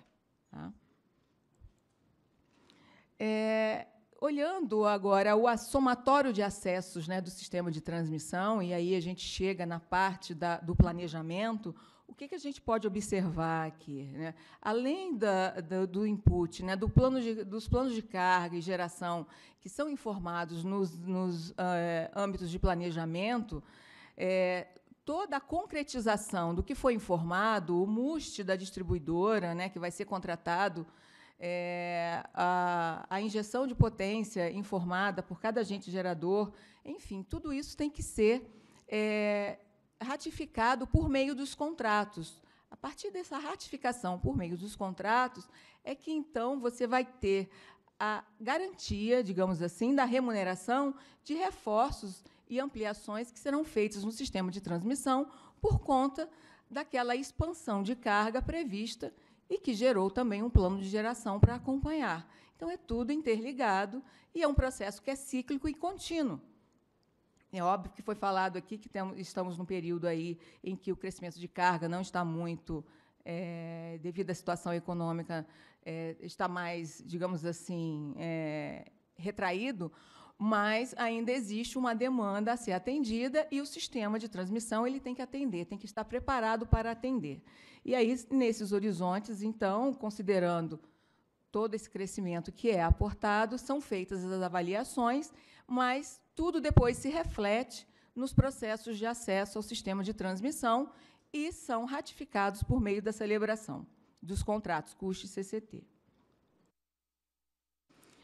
Falando um pouquinho agora da evolução da gestão do processo de acesso, o que, que a gente teve de evolução nesse processo nos últimos anos, que agilizou bastante? Tivemos, no âmbito da, dos agentes geradores, que é a maior força aí de, além das distribuidoras, o que a gente tem um número maior de pareceres de acessos emitidos, é, de agentes geradores, principalmente eólicos. Lá em 2014, nós tivemos o despacho, a publicação do despacho 4.309, que autorizou, autoriza o ONS a emitir o parecer de acesso diferente do que é, o agente gerador está originalmente autorizado. E por que isso? Até a publicação desse despacho, o ONS tinha que aguardar toda a, a, atualização dos atos de outorga, principalmente dos leilões, dos empreendimentos de geração provenientes dos leilões de geração é, em ambiente regulado, é, para a atualização das outorgas, porque, após o leilão, são emitidas portarias com autorizações individualizadas por cada empreendimento que vendeu energia. Obrigatoriamente, depois, esse agente gerador, além das características técnicas que foi abordada aqui pela EPE, ele solicita, estando ele conectado no sistema de transmissão e no horizonte do ONS, ele vem ao ONS solicitar uma informação de acesso para atualizar a sua outorga, né, as outorgas dos seus empreendimentos, para uma situação em que ele, na verdade, foi autorizado individualmente para o mesmo ponto, mas que, na verdade, ele vai acessar de forma é, coletiva, numa subestação coletora, num único ponto de conexão. Então, tudo isso demanda uma informação, que ele solicite uma informação de acesso no INS, entre com o processo de alteração de outorga na ANEL, e, antes desse despacho 4.309, o ONS tinha que aguardar toda a finalização desse processo para poder finalizar o parecer de acesso. Ele só poderia emitir o parecer de acesso da forma como estava sendo solicitado, já na nova configuração, porém com ato de outorga autorizado. É, então, esse foi a primeira melhoria que veio para agilizar a emissão dos documentos pareceres de acesso. A partir desse despacho, podemos, então, é, passar a emitir parecer de acesso, desde que o agente gerador declarasse que estava de acordo com os riscos envolvidos nessa celebração, porque o parecer é emitido e é, então, é, celebrado um custe, até mesmo num ponto de conexão diferente do que ele está originalmente autorizado. Não tendo a anuência final desse processo de alteração de outorga, fica com ele os riscos da descontratação e retornar para um novo processo de acesso. Isso é custo. Então, ele declara que ele tem, é, ele assume esses riscos, então nós emitimos o parecer de acesso. Ah, depois, mas só que isso não foi suficiente, né? A gente viu que precisava de mais e então é, propomos, né? Isso foi bem aceito, foi um trabalho de equipe, fizemos apresentação com várias associações, com a ANEL, com o Ministério, com a EPE na época, e aí tivemos o sucesso de ter é, implantado na dinâmica né, do leilão de margem, a menos 4, a celebração do CCT e custe antes da emissão do parecer de acesso. Na verdade, corre hoje em paralelo. Quando a gente olha o processo da, de, do processo do ambiente regulado, de contratação de energia do ambiente regulado, a gente percebe que, tendo sucesso no leilão de energia, ele vendendo energia no leilão, vai receber uma portaria do Ministério e vai, então, é, poder estar apto a solicitar o acesso ao ONS. E, simultaneamente, ele vai poder, então, celebrar os contratos CCT e CUST. A grande uh, ansiedade na época antes da gente ter esse tipo de possibilidade no ambiente regulado, era justamente ter o parecer de acesso para poder celebrar o CCT e poder, então, é, começar já tra as tratativas da, da, da, construção da sua conexão física né, no barramento da transmissora. E, e aí, com a demora desse parecer de acesso, às vezes algumas transmissoras se recusavam é, até mesmo de receber sem o parecer de acesso e começar a fornecer as informações para o início desses projetos. Então, é, essa melhoria que a gente colocou É uma melhoria que hoje ainda não está regulada, ela está é, ela aparece apenas nos leilões de energia, mas é específico para esse ambiente, ambiente regulado. Perdi aqui.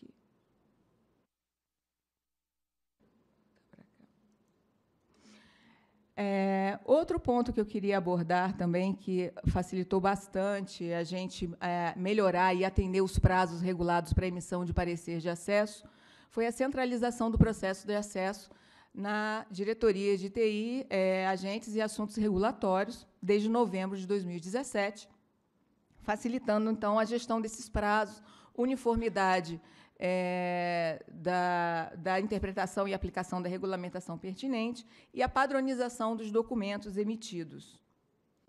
Então, hoje, é, é toda a parte do processo de acesso fica centralizado na DTA, que é composta por quatro gerências executivas. A SA é a Gerência Executiva de Serviços aos Agentes, onde fica a SAA, gerência de integração e acesso, que eu sou responsável, e do lado vem a gerência de contratos e contabilização do processo da transmissão. É, essa, essa centralização ela agilizou bastante, porque a gente teve como é, olhar, né, fazer a coordenação de todos esses prazos, ter um olhar de todos esses processos do Brasil, ficam centralizados na SAA e o resultado que a gente teve em 2018 foi de uma produtividade bem maior em termos de emissão de pareceres de acesso, melhorando bastante também o prazo de atendimento em relação ao passado. E hoje, eh, agora em 2019, nós já estamos com 53, cerca de 53 documentos de pareceres de acesso permanentes emitidos e temos aí o, o, o percentual de atendimento de solicitações de acesso dentro do prazo, é, saímos de 2017 para cerca de 56%, chegamos a 93% de pareceres de acesso emitidos dentro do, dentro do prazo em 2018, e esse ano, pareceres de acesso permanente, 100% até o momento dentro do prazo. E um prazo que não é mais o de um ano. Esse de um ano a gente não trabalha mais com ele, é o que a gente tem trabalhado é o de até 120 dias e, no caso do leilão ACR, até 150 dias. Em média, um parecer de acesso tem levado 100 dias, de 90 a 100 dias para ser emitido. E a parte de desafios e perspectivas para o futuro, né, teriam vários assuntos a serem abordados. Eu escolhi aqui a parte dos geradores que a gente tem percebido, que é a os empreendimentos de fontes alternativas de rápida implantação. É, é, já tem ocorrido empreendimentos, principalmente quando eles já têm uma subestação coletora já existente, já tem a conexão ao sistema de transmissão, o prazo de implantação é de 10 a 12 meses. É, e ainda tem a questão dos empreendedores que vendem no leilão A-4 e A-6 eles, é, apesar de venderem energia nesse horizonte, eles, na solicitação de acesso, eles, além de anteciparem a conexão à rede de transmissão, eles é, aumentam a capacidade né, da parcela do ambiente livre. Então, eles já obtêm no leilão de margem um ponto de conexão, uma margem, e ainda aproveitam e ampliam, às vezes até dobram a capacidade que foi é, licitada. E isso tem sido assim é, já a prática. Então, é, o que na verdade a gente queria que fosse mais rápido ainda a emissão do parecer de acesso, principalmente desse de leilão de margem, porque já tem uma nota técnica, você já tem uma margem que já foi leiloada e que já sabe que ela já vai ser existente. Porém, com esse acréscimo de injeção de potência nesse mesmo ponto, são necessárias então novas avaliações sistêmicas. Tá? Então, com isso, mesmo assim, a gente tem conseguido atender os prazos é, de emissão de parecer de acesso. É, e aí, o que a gente detecta com isso? Né? Que o processo de acesso deve evoluir para acompanhar essas necessidades do setor.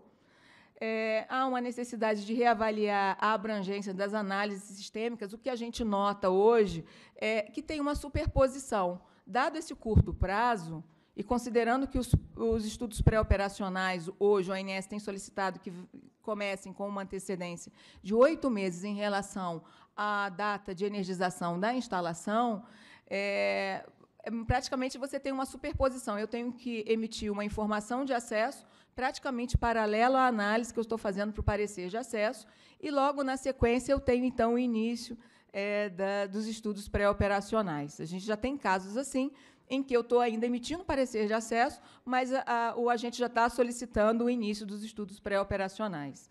Então, com isso, a gente está é, tá percebendo uma superposição aí de análises técnicas e que caberiam, talvez, uma avaliação de ver o que, que, no primeiro momento, para o parecer de acesso, seria interessante focar e o que, que a gente poderia, de maior complexidade, deixar para a fase do, do pré-operacional, é, uma vez que isso está acontecendo é, de uma forma quase que de imediato a emissão do parecer de acesso.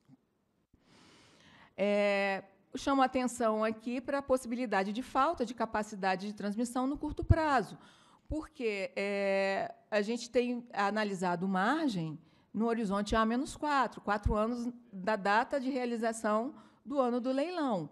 É, e o que a gente percebe é uma antecipação né, no A-6 e no A-4, é, e ainda uma ampliação dessa margem que for vendida, como eu comentei, para o ambiente livre. Então, é um cobertor curto e é, tem, é uma questão que deve ficar aí de alerta. Qual seria a solução disso no médio e curto prazo? E aí, com isso, o que a gente tem é, percebido? É, o, o, acesso ele não é negado. É, ele já, o agente chega autorizado, a gente vai fazer a avaliação sistêmica. O que pode acontecer é restrição. Ele vai sofrer restrição em determinadas condições e cenários, e aí pode ter a necessidade, então, de instalação de sistema especial de proteção ali na região em que tiver problemas ali para o atendimento. Pendências, outro ponto também que eu queria abordar, pendências quanto ao atendimento dos requisitos técnicos mínimos por parte dos acessantes. Foi uma questão que o Alessio até comentou, né, que é uma questão que é tirada na hora de fazer a viabilidade financeira do início dos projetos, mas que depois, na hora da verificação do atendimento aos requisitos técnicos e a neutralização dos impactos né, sobre o sistema de transmissão, esse equipamento corretivo ou os equipamentos corretivos deverão, terão que ser instalados. E a gente percebe uma postergação com relação nesse sentido. Mas chega na hora da DAPR, isso é cobrado e aí não tem como é, não, é um, não tem como você escapulir do atendimento do é, requisito técnico mínimo da instalação de equipamentos de correção.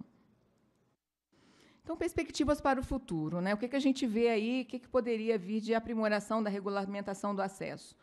Avaliar a simplificação do documento parecer de acesso, e aí, nesse sentido, é, muito na questão dessa superposição dos estudos, o que, que poderia ser é, focado na etapa do estudo de acesso e o que, que poderia ser deixado, os estudos mais complexos, o que, que poderia ser deixado mais para a fase do pré-operacional, isso olhando esses empreendimentos de é, rápida implantação. Né?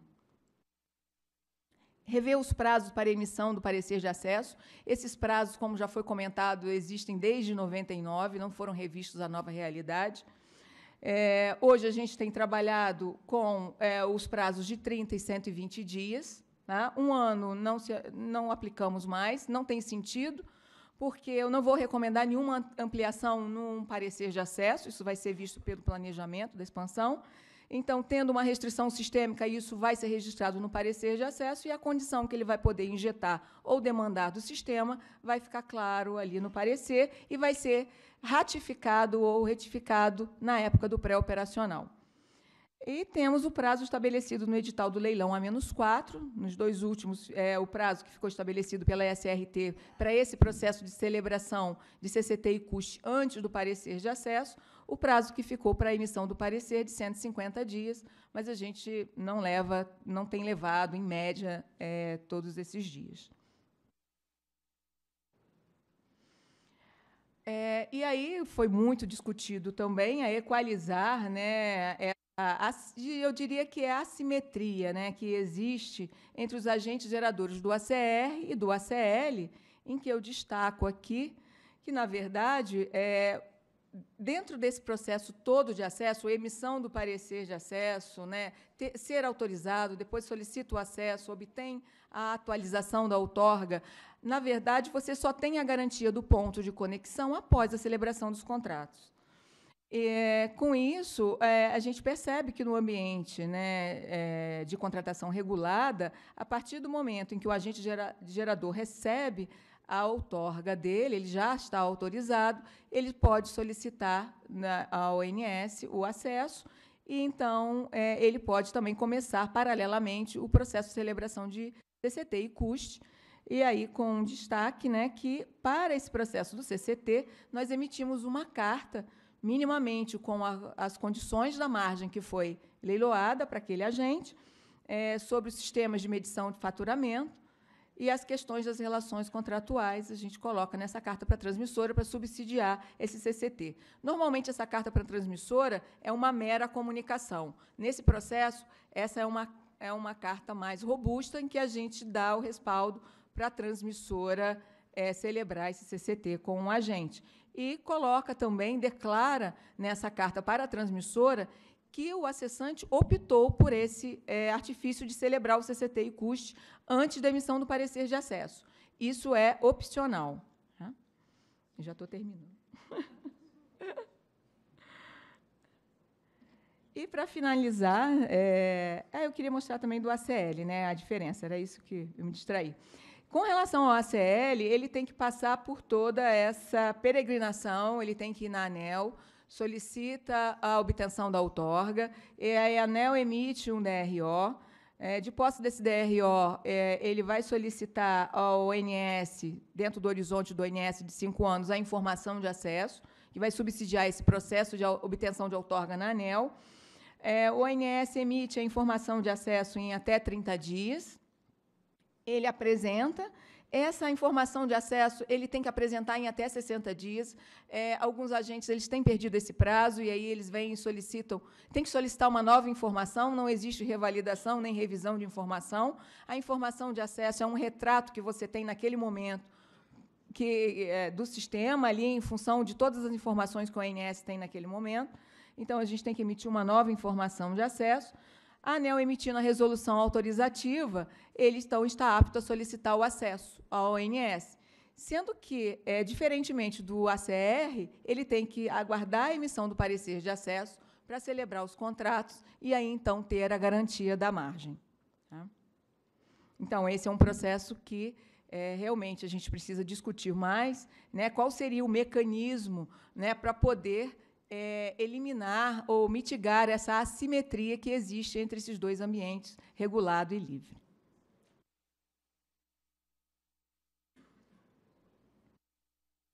desculpa.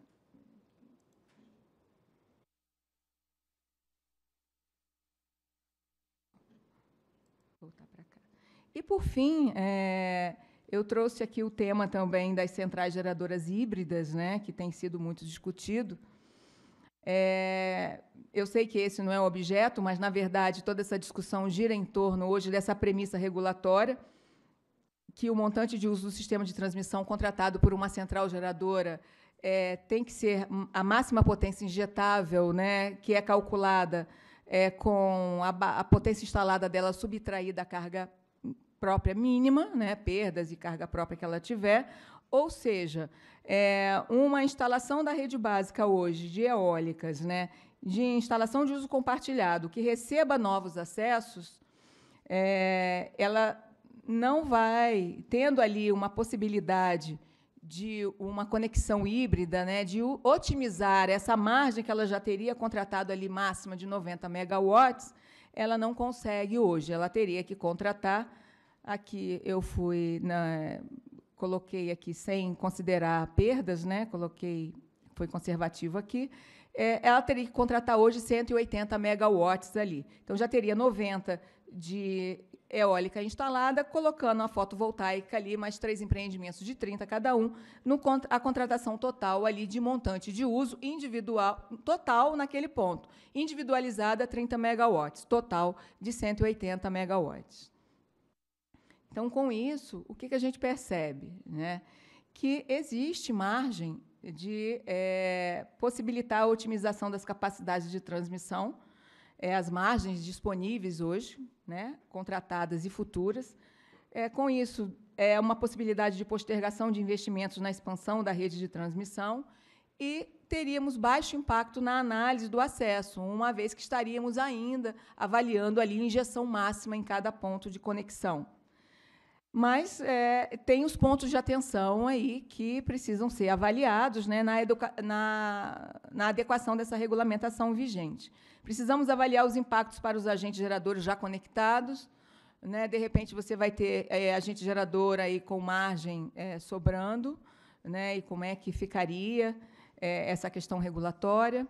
É, é, teria também a questão dele já ter essa vantagem mais à frente, porque já teria ali também essa margem é, que, de repente, antes, pela regulamentação vigente, não era possível, ele passa, então, a ter essa possibilidade de utilizar de uma outra forma. Avaliar os impactos na operação do SIM. Né, e você é, estaríamos colocando aí mais centrais geradoras de diversas fontes, diversos tipos, no mesmo ponto de conexão, exigiria uma controlabilidade maior, um nível maior de supervisão e controle desses parques geradores.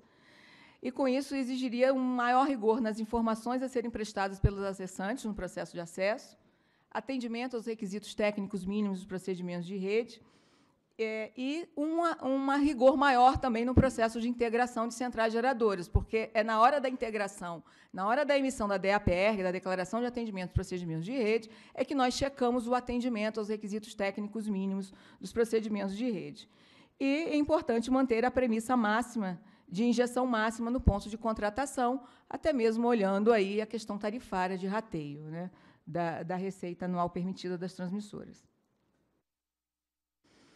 E situações que devem ser diferenciadas, né? A geração eólica e da fotovoltaica no Nordeste tem uma particularidade, principalmente na Bahia. A gente olha por esse gráfico aqui, a geração fotovoltaica no, subsistema Nordeste da Bahia entre 7, principalmente entre 7 e 16 horas aqui, né, na sua máxima aqui com fator de capacidade de 80% enquanto que na Bahia né, tem, nesse mesmo período, um fator de capacidade, nesse mesmo horário, baixo nas gerações é, eólicas. Então, são é, características específicas de regiões né, e, de, e de tipos de é, centrais geradoras e que precisariam é, ser avaliadas e que nos instiga né, a buscar essa contratação de geração híbrida.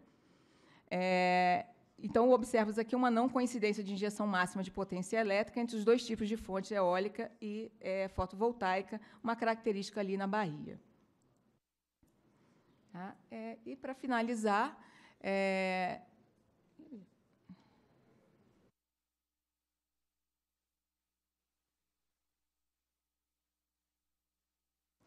é, voltando aqui, é, o que, que, eu queria chamar a atenção da questão da diferenciação. Né? Ali a gente tem duas, duas gerações em que operam com diferentes, é, diferentes horários ao longo do dia.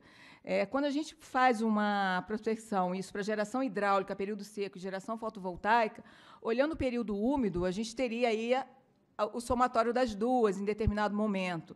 Então, é só é, ter esse tipo de ressalva. Da mesma forma, a biomassa, no período da entre-safra, em que você teria zero ali de geração térmica, e poderia colocar, por exemplo, uma fotovoltaica ali compartilhando esse ponto de contratação, na época da safra, teríamos ali a máxima de potência instalada dos dois parques, é, tipos de geração. Então, é, e outras possibilidades aí que devem ser avaliadas e diferenciadas nessa análise. Ok? Muito obrigada.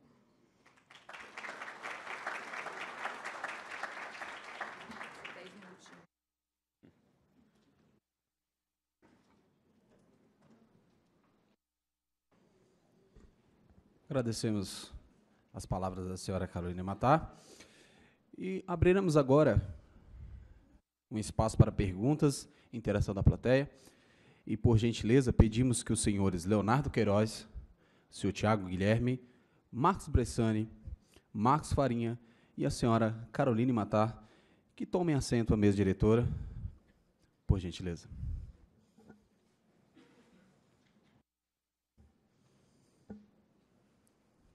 Os participantes que quiser perguntar, levante a mão, a nossa equipe cerimonial levará o microfone até você.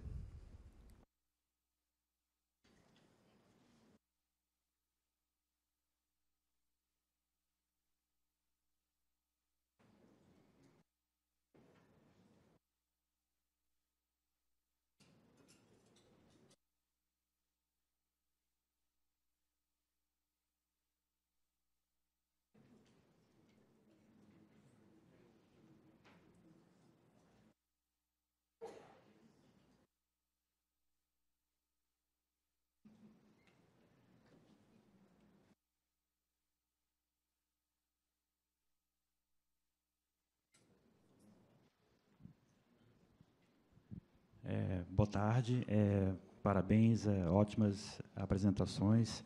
Meu nome é Vitor, trabalho na Brookfield. E eu vou pensar é, uma apresentação da EPE, que foi feita à tarde, com uma, uma apresentação que foi feita na parte da manhã. É, na parte da manhã foi comentado que o volume dos empreendimentos do OCL tem crescido bastante, a ponto de ultrapassar é, o volume de acesso do ACR.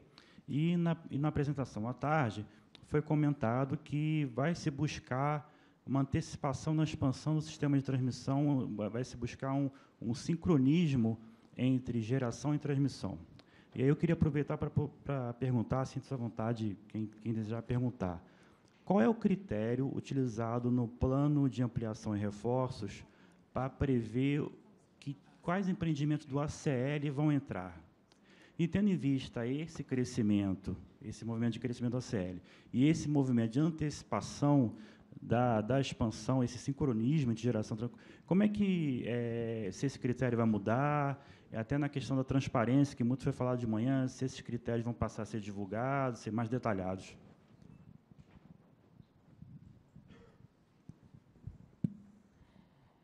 Então, é, com relação ao ambiente, ao ACL, não existe uma previsão, é por demanda. À medida em que eles vão obtendo é, a autorização, solicitando acesso e celebrando o contrato, eles passam a ser contemplados, então, é, no sistema de transmissão, tanto no horizonte do par quanto na expansão.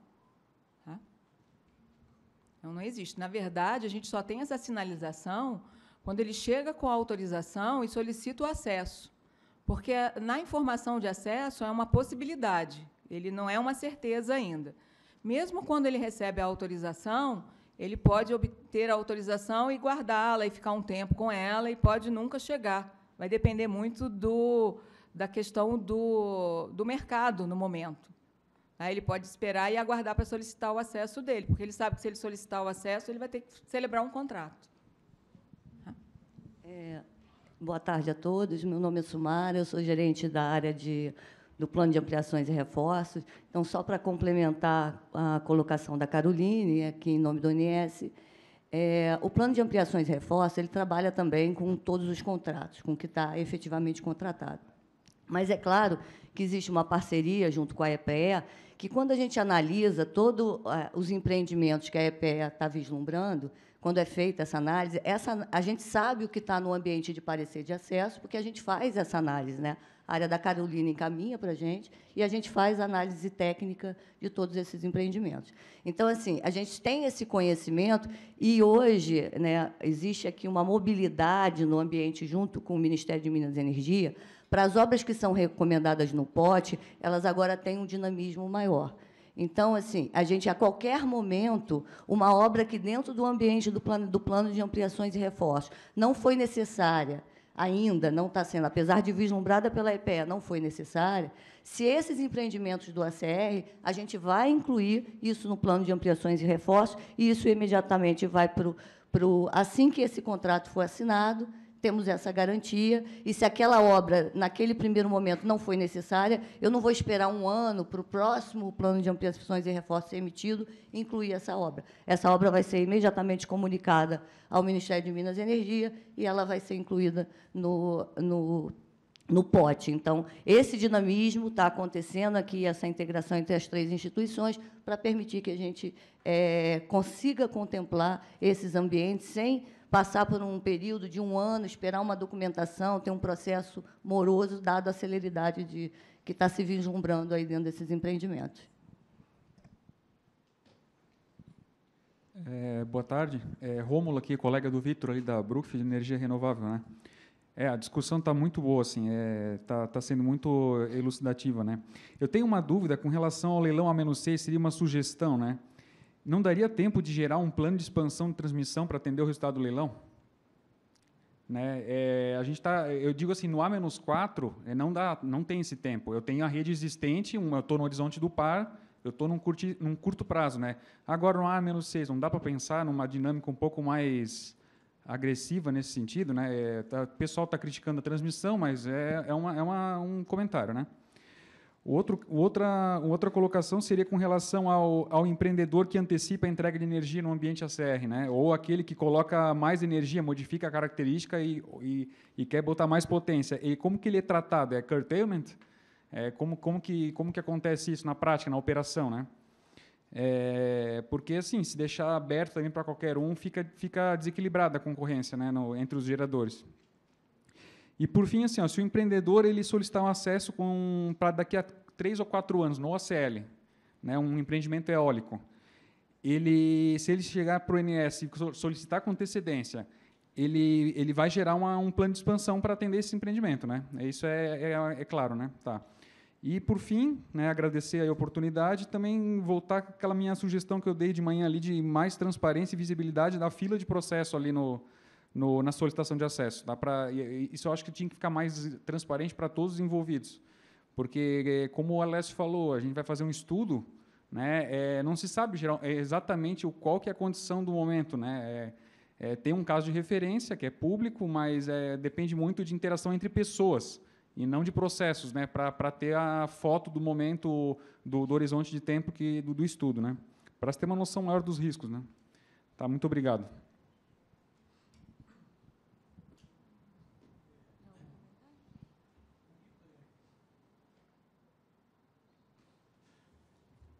Uma das questões né, que aborda a possibilidade de fazer os estudos para o caso do leilão A-6. É um, é um desafio enorme, porque, na realidade, o A-6 é um A-5 na prática. Né? Ou seja, já começamos daí. O leilão é realizado ao longo do ano, segundo semestre, etc., etc. Fisicamente, cinco anos.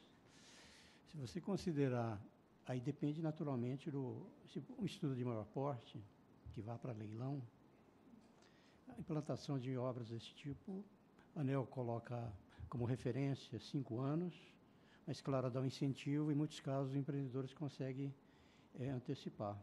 Suponha que ele antecipe, que faça em quatro anos. Restou um ano aí para todo o processo, é praticamente o processo de instruir um leilão. E para instruir um processo do leilão, a ANEL tem que ter em mãos um conjunto de relatórios que caracterizam a viabilidade técnica e econômica dos empreendimentos. Relatórios que são o estudo de planejamento, da concepção, análise, definição da alternativa, aquilo que eu tratei. Dependendo do porte do estudo, pode ser mais rápido ou menos rápido, colocar três meses, seis meses, dependendo de um estudo de maior porte, pode ser até mais porque não é, não é apenas o estudo técnico, o estudo da, do dimensionamento da rede, etc. Tem toda uma interação com os agentes, com as transmissoras, tem análise socioambiental, tem todo o trabalho do traçado do corredor preliminar, do traçado preliminar das rotas, e hoje em dia também análise fundiária previamente ao leilão, ou seja, é extremamente difícil.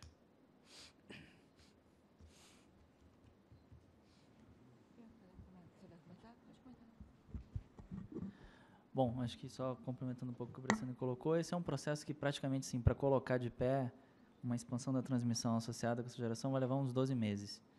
Então, assim, se a gente pensar de forma macro, o, o 6, que é um 5, menos 12.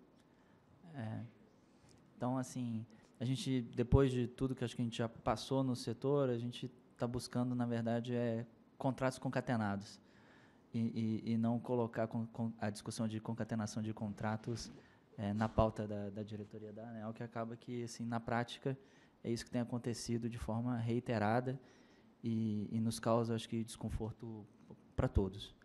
Né? Então, eu, eu, entendo até a questão de colocar como uma crítica, mas acho que a gente tem uma preocupação um pouco maior de manter, é, como eu falei, o ambiente de negócio todo de pé e, e, e saudável. É, além desses 12 meses, você pode falar, bom, o que está dentro disso? Né? Assim, tem todos os prazos que são nossos, mas também tem o Tribunal de Contas.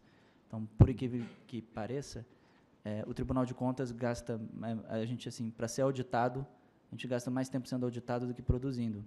Então, o processo deles, é, eles levam 90 dias, 150 dias eu tenho que, a gente tem que avisar com antecedência o que vai licitar com extrato, 90 dias é dentro do tribunal fazendo avaliação. É, então, veja, em 90 dias a gente produziu os relatórios de detalhamento, por exemplo, com dados de campo. Então, então é só para, assim, talvez você tenha um, um pouco dessa visão. E eu queria aproveitar a outra pergunta da CL e eu queria resgatar a questão que você falou do, da expansão, né? É, não sei se ficou, acho que ficou um pouco na apresentação da app, a dificuldade da EPE enxergar é, esses empreendimentos do ACL. Porque os da CR, ela, ela tem aprimorado dentro da base de dados da AEG, né? Mas os da CL não. Essas informações do ACL estão aqui na agência, né? Quando então, assim, acho que é, vale, acho que talvez uma, aproxima, uma aproximação nossa, do Ministério App com a ANEL, para ver como é que é essa questão desses dados, ou como a própria Elbia colocou, pelo menos para o segmento da eólica hoje de manhã, é, esse pedido para os agentes irem é, levar né, é, os seus projetos lá para a app tomar conhecimento, porque senão é a simetria da informação. Se ela não enxerga, é, também fica difícil é, avaliar. Comentário, você falou sobre os três anos, né? De, é, isso está regulado até no procedimento de rede, né? Quando precisa de ampliações e reforços, seria o ideal que viesse com três anos de antecedência, fazer o processo de acesso, celebrar o contrato e aí você todo dá todo o input ali para o planejamento. É, mas isso não acontece. O que a gente vê é, é, chegando em um ano e, às vezes, até em um prazo mais curto ainda, querendo o parecer de acesso de imediato. E aí eles trabalham com o risco mesmo. Esses empreendedores trabalham com o risco da disponibilidade da, do sistema ali no momento. Tá? Mas seria o ideal.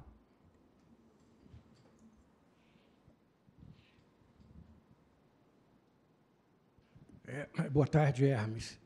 É, consultoria, é, chip consultoria, mas participando é, de conselhos de administração, em que eu gostaria de colocar alguns pontos que eu tenho é, sentido dificuldades é, no diálogo com esses empreendedores, é, principalmente quando querem investir no mercado livre. E todos os aspectos foram abordados aqui. Parabenizar a ANEL por, por esse workshop, porque livre, aberto e se propondo uma modernização da gestão, é, num processo participativo. E o primeiro ponto, Caroline, você abordou no final muito bem. Todos tocaram e você já não deu a solução, mas disse que é importante é, se dedicar a esse aspecto. Eu acho que a questão é, não é isonomia, é, talvez não seja essa a palavra mesmo, porque os mercados livres e regulados têm características totalmente diferentes. Agora, a questão, a peregrinação, gostei do termo que você usou, aí eu estou nela, né, vivenciando. E eu acho que poderia se concentrar, no, num primeiro momento, as, as, instituições que estão aqui, é, na, no sentido de centralizar alguns aspectos, é? reduzir prazos de outros, como você colocou já, do parecer de acesso, simplificando com as coisas que são fundamentais, porque tem um, um fato relevante para nós. Qual é? Eu só consigo financiamento depois que eu tenho parecer de acesso no Mercado Livre ou assinatura do custe, uns exigindo até mais.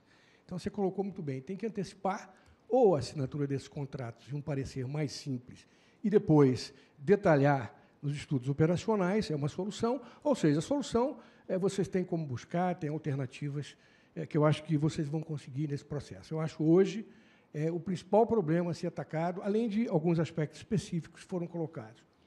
O segundo, eu também tenho dificuldade de convencer um transmissor eficiente, eu sou do conselho de uma empresa de transmissão, em que ele consegue antecipar a obra, mas a distribuidora não corresponde. Isso já foi colocado aqui, porque um planejamento é determinativo e o outro não é determinativo. Então, eu acho que é outro aspecto importantíssimo para poder ter a sintonia, porque se não chega ao consumidor, não tem o benefício, não adianta ele ser eficiente, ter a capacidade de antecipar, porque não tem a remuneração. Não é? é um outro ponto importante. E o terceiro surgiu aqui. Eu fiquei preocupado é, com, a, com a margem no leilão menos 6. Por quê? Voltando, é, uma outra visão, é, como o acesso é livre por lei, é, eu acho que a margem só deveria existir, em tese, para ter é, é, justificativa plausível e, e, e, compreensiva por todos, quando você não conseguisse, ou num período, como tem aí quatro anos, que eu parto da premissa que às vezes você não consegue viabilizar a transmissão, tanto que aumentaram o prazo. Agora, o leilão, o margem nos seis anos, é se por um lado você dá garantia é, da conexão, da margem, não é?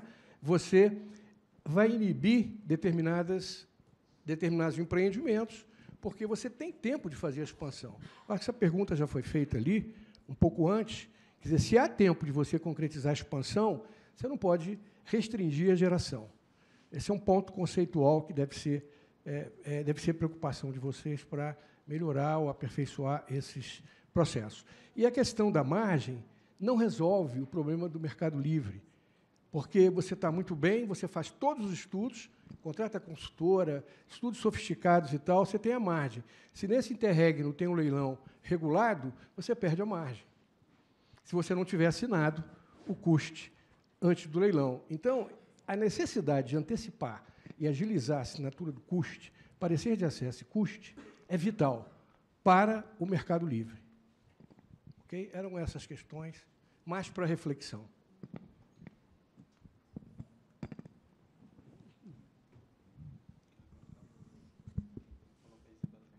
Bom, é, vou pelo menos entrar na questão que você colocou da menos 6 e da margem, né? É, o decreto 563 ele foi alterado e a gente incluiu a possibilidade dos leilões combinados, combinatórios, vamos dizer assim, né? um, um leilão de geração com um leilão de transmissão. Então, a gente ainda não praticou isso e também não tem ainda muito claro. Mas, é, de novo, é um pouco com o que a gente colocou ali com. Acho bom, você acompanhou também um pouco dessa dinâmica. É, com um leilão que não é seis, é um cinco, e 12 meses para entregar um contrato com um prazo de 60, em tese, você já sai com um contrato de geração descasado pelo menos um ano de um contrato de transmissão, e você depende. Você, está partindo da premissa de que o transmissor já será eficiente 12 meses. Né? Ou seja, é, e se fizermos um contrato, então, com 60, sabendo que ele já é eficiente em 48, então nós também estaríamos entrando, talvez, no erro, porque ao, ao esticar esse, esse, esse, prazo, existe também impacto na RAP. E, e, então, veja, é, a margem, a fronteira de, de eficiência, a gente já estaria partindo do pressuposto que a gente vende algo com uma fronteira de eficiência alterada. Né? É, isso já é um descasamento.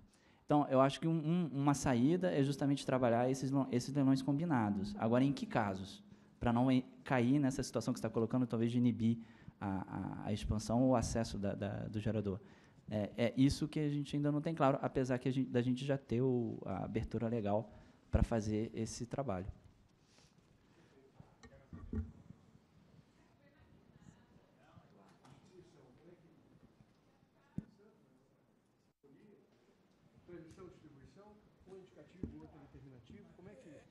Essa é outra questão, né? A parte da de tudo isso que foi falado tem ainda a efetiva concretização da, do conjunto de obras que muitas vezes é, certamente o estudo de, uma solução de alternativa de transmissão tem associado a ela um conjunto de obras de distribuição na maioria dos casos.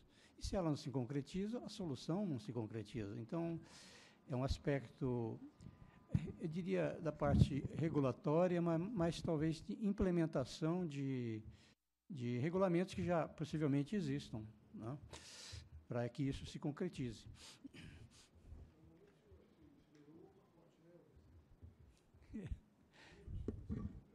Exatamente. Queria só fazer uma complementação também no ponto que você colocou da antecipação da assinatura do custe né, e essa associação com os leilões com margem né, parte da apresentação eu tinha colocado justamente aquele processo paralelo que o ACL está seguindo a vida dele, o processo dele normal.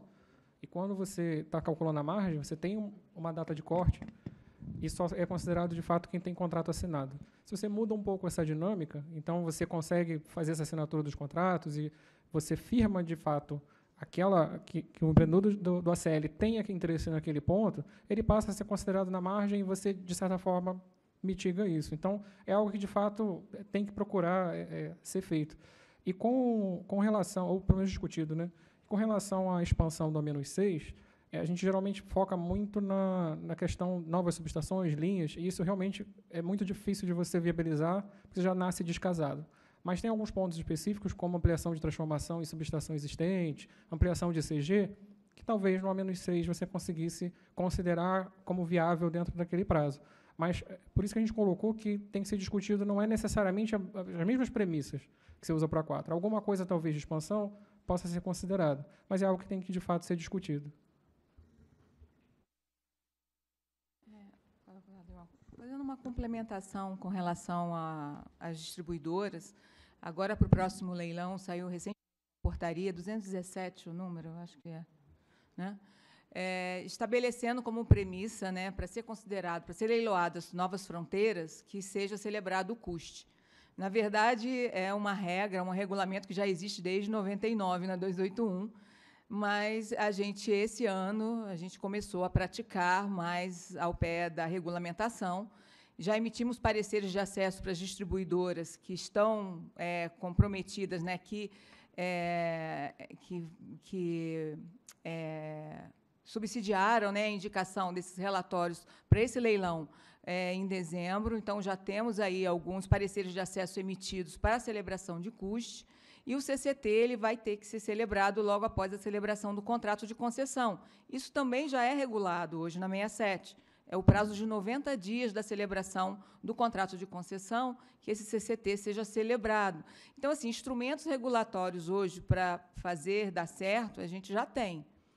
Tem que colocar em prática e a gente está começando agora esse ano a emitimos um parecer de acesso com um respaldo regulatório bastante forte, é, com a orientação para essa celebração após a ocorrência do leilão, né, um respaldo para as transmissoras, e aí depois, é, hoje em dia a gente não sabe quem é que vai ganhar um leilão, então tem que ter um trabalho depois também de informe para essas transmissoras vencedoras do leilão, que já existe um parecer de acesso celebrado e um custo celebrado para aquela fronteira para ela poder então finalizar esse processo.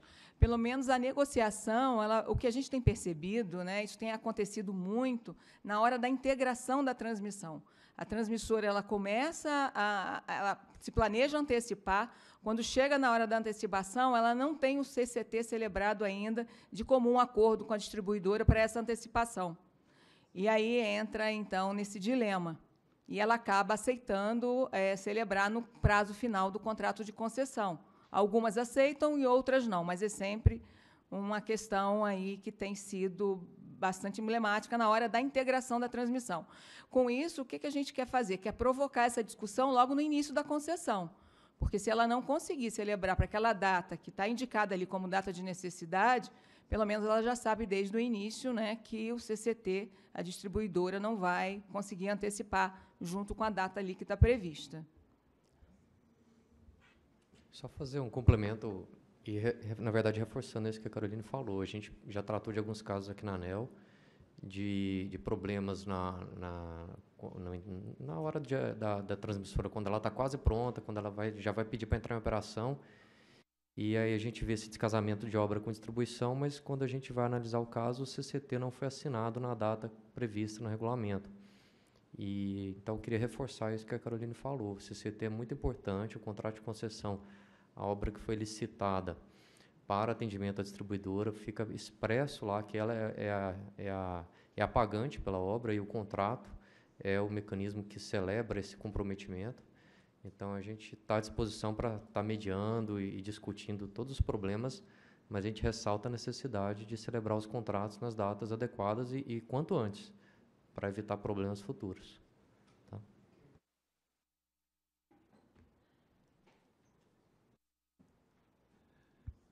Sei que ainda teria muitas contribuições, muitas perguntas, mas nós iremos fazer um pequeno intervalo né, para o nosso COF. Agradeço já a mesa de debate que esteve aqui presente e informar também a todos os presentes que os links e os, as apresentações e os links do vídeo que está sendo transmitido pela, pela, pelo YouTube estão, estarão disponíveis no site da ANEL, tá bom? Então, nós faremos um pequeno intervalo neste momento. As recepcionistas vão guiar vocês até o salão, a sala bem-estar, onde vocês terão é, 25 minutos para poder se alimentarem com esse cofre. Ok? Obrigado.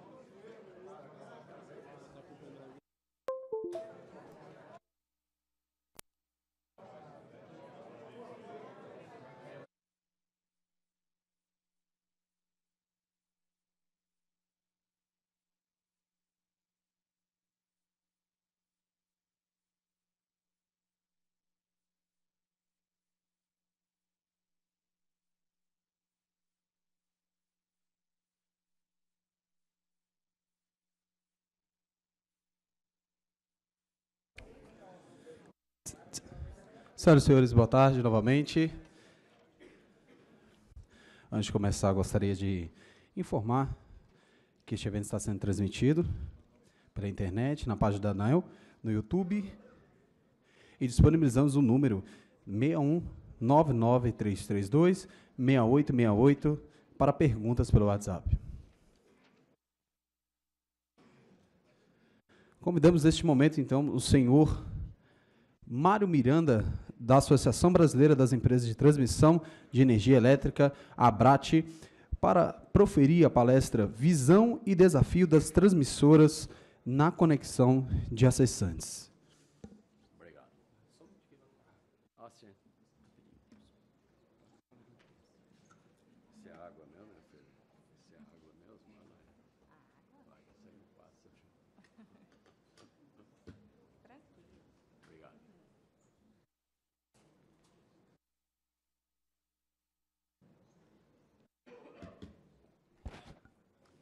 Cumprimento os senhores participantes desse evento muito importante, patrocinado pela ANEEL, a quem nós convidamos na pessoa do seu superintendente, Leonardo, da qual a ABRAT é ligada em todos os elementos que procurem eh, o aprimoramento do setor elétrico, em especial do segmento de, eh, de transmissão. É, muitas vezes nós escutamos que o certame de leilão de transmissão está com um montante muito importante, que há uma bela quantidade ofertada de transmissão. Mas, contudo, senhores, prestem atenção de que os inúmeros lotes havidos até o momento são oriundos, muitas vezes, de lotes que foram leiloados até cinco vezes é o cumprimento do planejamento que é determinativo, conforme já foi dito, que não se realizou no período 2012-2016, onde nós tivemos um período bastante importante de atender aos acessos e prover as conexões devidas aos agentes. Se nós não relembrarmos com respeito e com a devida sinalização que ocorreu no Brasil num período recente, nós não vamos compreender o futuro. Se o que ocorreu hoje é uma profusão de leilões de transmissão, não é. São lotes que haviam, que estavam estagnados, relicitados e que me parece até agora, me corrijam, somente falta Jundiaí e Atibaia, um trecho de 70 quilômetros com problema fundiário. Mas o restante, todo o planejamento cumpriu e o cumprimento do planejamento se dá no ato do leilão. E o período 2012-2016 foi um período muito importante para o setor elétrico brasileiro, de uma experiência que nós passamos, que afetou e muito as concessões de serviço público, e não foi por outra razão que em 2016 a ANEEL, Ministério de Minas e Energia, juntamente com o TCU e com forte apoio da Brat, que contratamos muitos consultores, é que foi feito todas essas mudanças dos editais de leilão e que hoje são casos de sucesso e que não é para ser atacado, é para ser aprimorado. O único elemento que se tem de disrupção que nós aceitamos é nos disjuntores. Ali sim, eles foram feitos e ainda assim tem câmara de extinção de arco. Quem tem concessão tem responsabilidade por 30 anos. E essa concessão se constrói com todos os agentes conectados. Isso é muito importante para nós termos noção em que ambiente que nós estamos, que nós temos que atender a um elemento, um pressuposto trifásico. Primeiro, a garantia do livre acesso a todos os usuários.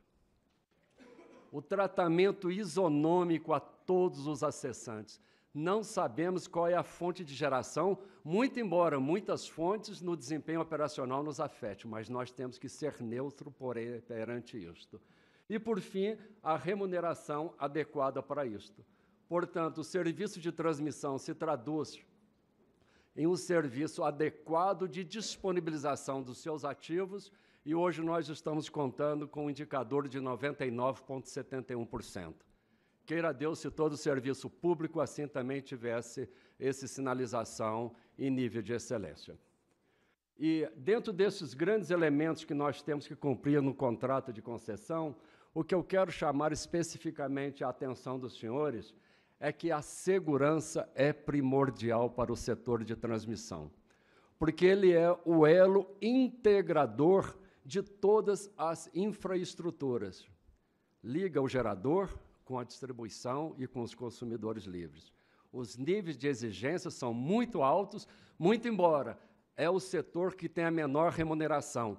4% do total do faturamento eh, do, da, da, área de energia elétrica. Atualmente está em 6%, porque 2% é o recebimento do pagamento da RBCE, aquela lá de 2012, que iniciou o pagamento em 2017 e que se findará em 2023, quer queira que essa segurança jurídica de pagamento seja perseguida. É, todas essas etapas já passaram por aqui com as explanações, principalmente do, do ONS, né, que mostram todos os elementos que, é, é, que nos é, obrigam aos cumprimentos. Então, a apresentação que eu vou fazer aos senhores é meramente do âmbito operacional.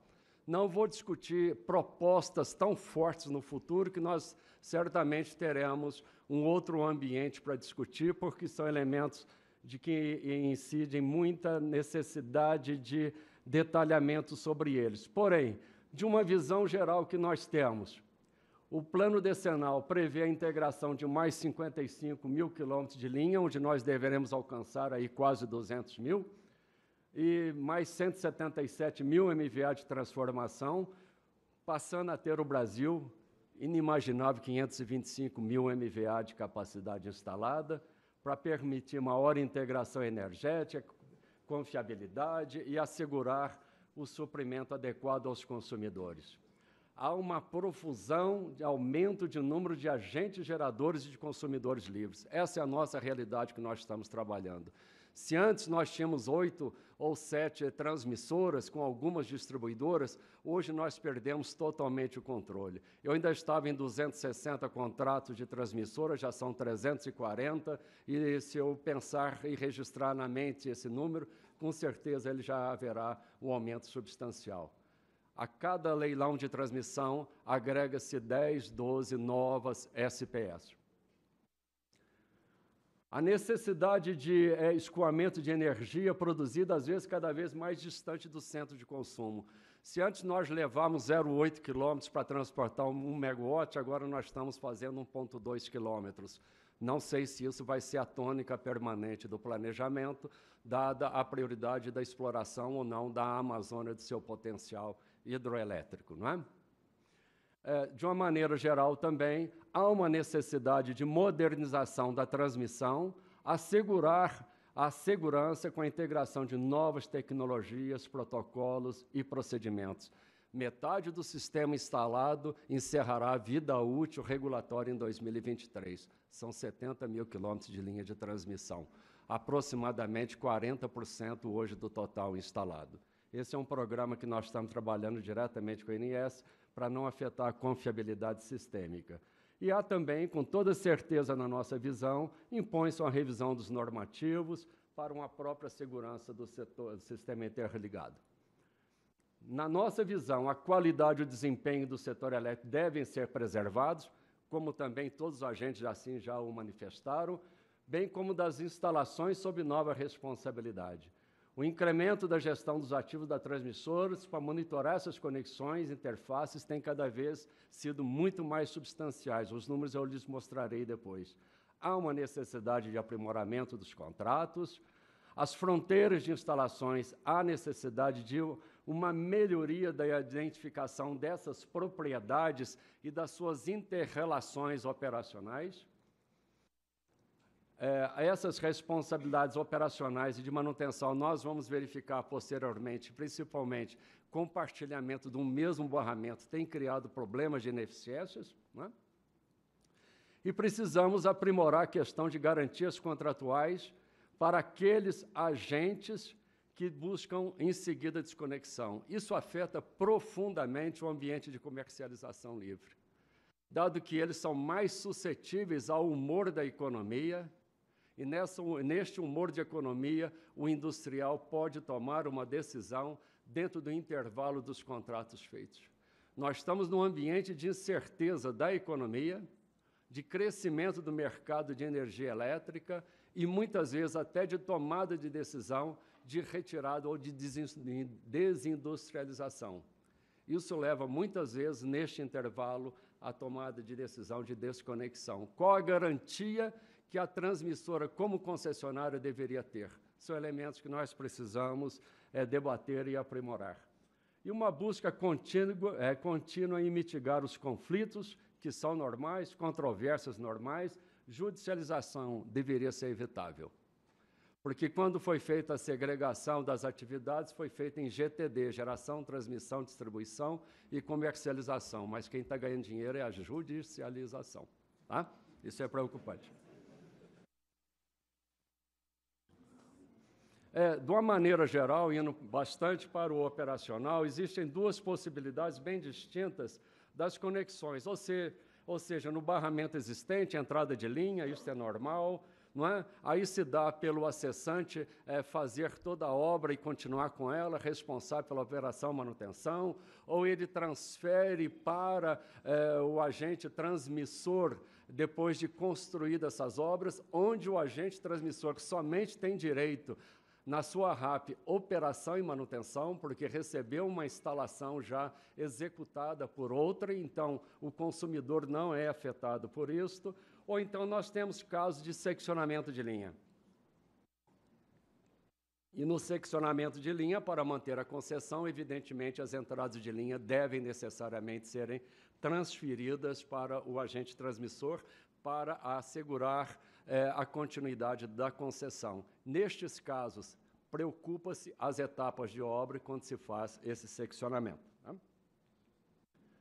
E também há que se definir, discutir um pouco melhor a questão de medição de fronteira, as responsabilidades da distribuidora, que tem muitas opções de discussão. Não esqueçam, senhores, os padrões de projetos licitados é de 1999 para cá. As subestações existentes guardam arranjos típicos e distintos da concessionária até então, como hoje faz a distribuidora. Não havia um modo único de modelo de arranjos. Cada um tem, tinha o seu. Ainda temos subestações, por exemplo, em 230 kV, operando barra principal e transferência, por exemplo. Isso vai seguir por um bom tempo. Né? Então, nós temos que é, várias possibilidades da distribuidora compartilhar ou não os transformadores de instrumento, compartilhar os enrolamentos, ou transferir ou não ter, e também é, qual é a responsabilidade é, destas instalações e, principalmente, senhores, nós estamos chegando num nível nas transmissões, eh, nas subestações nossas, e que daqui a pouco nós vamos ter que fazer uma convenção de condomínio. Olha, este é um exemplo, e aqui outro exemplo, e neste exemplo, olha só o barramento, disjuntor e meio.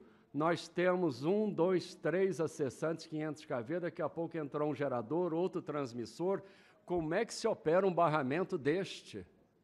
Ele está levando a uma ineficiência operacional e de manutenção, porque o programa de manutenção corretiva, muitas vezes de tirar um ponto quente de um barramento, não é o programa de uma outra transmissora, e vice-versa. Nós precisamos rediscutir este modelo, até onde ele vai, esta zona é, de, do acessante, onde é que está esse limite. Caso contrário, a ineficiência passa a ser um fato que nós estamos é, convivendo hoje. Isso aí é o exemplo de São João do Piauí, mas tem N exemplos, ali em Colinas também, a coisa é bastante complicada. E atualmente nós estamos com 2.790 contratos de acessos estabelecidos e em um processo 289. Depois eu quero ajustar um pouco mais com a apresentação do NS da Carolina, que diz que agora, atualmente, parece que é a ordem de 70, né? 60 e pouco que falou. Mas esses são processos que nós estamos ajustando e negociando, tá? De conexões. É porque vocês estão com pareceres de acesso da ordem de 60, né? É. É por ano isso, por ano, né? Ok. É, nós estamos com, trabalhando com, as, com os acessantes, está na ordem de 289, tá certo? Tá? O que incide em cima disto, uma vasta equipe de engenharia para que este acesso assegure que toda nova conexão não traga nenhum efeito de insegurança para a instalação. Diante disso, então, temos que acompanhar o projeto do acessante, participar da recepção, eh, o comissionamento das, das, suas instalações, e se formos sabedores que ele fará a transferência, evidentemente pode ocorrer também a participação na recepção no fabricante. E assim, senhores, há necessidade de nós evoluirmos, aprimorarmos o tratamento regulatório na questão quando houver seccionamento da linha de transmissão, nós damos mais prioridade à questão operacional de retomar logo a linha seccionada em operação, com as suas entradas de linha, e está sendo deixado de lado as questões formais e legais, como as declarações de utilidade pública, as propriedades impactadas, as negociações fundiárias, faixa de servidão, indenização escrituras, registros ou matrículas, o que o seja. Ou seja, o que nós estamos querendo dizer que quando são estabelecidas essas relações transmissora e acessante, a preocupação tem sido mais de cunho operacional e menos de cunho formal e legal. Nós precisamos trabalhar mais este elemento. Com prazos regulatórios para essa transferência, com o devido incessante para o eh, de incentivo para o cumprimento desses prazos, e de obrigação do seccionante disponibilizar também ambiente para receber a equipe das transmissoras, porque muitas vezes são atividades que demandam meses de trabalho conjunto. Né? E também regulamentação das transferências, lá da 443, em caso de ampliação de barramento, isso precisa de novo ser revisitado para saber que regra que nós vamos trabalhar, se serão vários agentes, donos de vários pedaços de barra principal, é, barra dupla, ou no caso disjuntor e meio. Né? Ainda mais, durante a implantação das obras, muitas transmissoras, então, normalmente são chamadas à aprovação desses projetos, como nós dissemos, acompanhar as obras, e que muitos atrasos no cronograma de obras ou interrupção do trabalho têm gerado sobrecustos, e muitos desses sobrecustos não são reconhecidos. E pendências também precisam ser resolvidas no tempo e a hora para que não se conviva com a operação comercial, restando ainda bastante pendências. É algo que a gente precisa trabalhar. Parecem detalhes, mas são detalhes que depois a fiscalização da agência reguladora é, vai, faz o ato e fica uma situação bastante difícil. O, os cursos de inspeção em fábrica, capacitação, têm que ser previstos também, nos atos da, da, do, dos contratos para o acessante, para que se dê e proveja de todo eh, adequado treinamento ao pessoal. Assim, Os custos de implantação CCI ou de CCT, o CCI são com as entre transmissoras. Para tanto, o Abrat havia desenvolvido um método, um manual Abrat de avaliação destes custos entre transmissoras, contratos CCI, por falta de um diploma regulatório, e ele foi, de certa maneira, expandido até para o relacionamento de acessantes de outras fontes de geração ou mesmo de outros agentes, sendo que nós tínhamos feito somente para entre transmissoras para regular as nossas intenções em contrato de compatibilização. Contudo, a ANEL, com o novo ambiente regulatório, re, re, reviu esta questão, normatizou e espero que isso tenha dado a, difícil, a, a, a pacificação na questão, onde basicamente nós estamos limitados pelo nosso VU, PU, que é o valor novo de reposição. Então, custo de engenharia 5%, custo de operação e manutenção 2%, as questões espero que estejam já todas pacifica pacificadas. E mas, contudo, existe uma necessidade regulatória se nós contratamos uma empresa de engenharia para fiscalizar esses projetos dos acessantes, são reconhecidos nos custos. Contudo, se é a equipe própria, não. Nós precisamos dirimir esta questão. Então, isso é capturado pela modicidade tarifária, isso é custo, a gente acha que isso deveria ser revisto, né?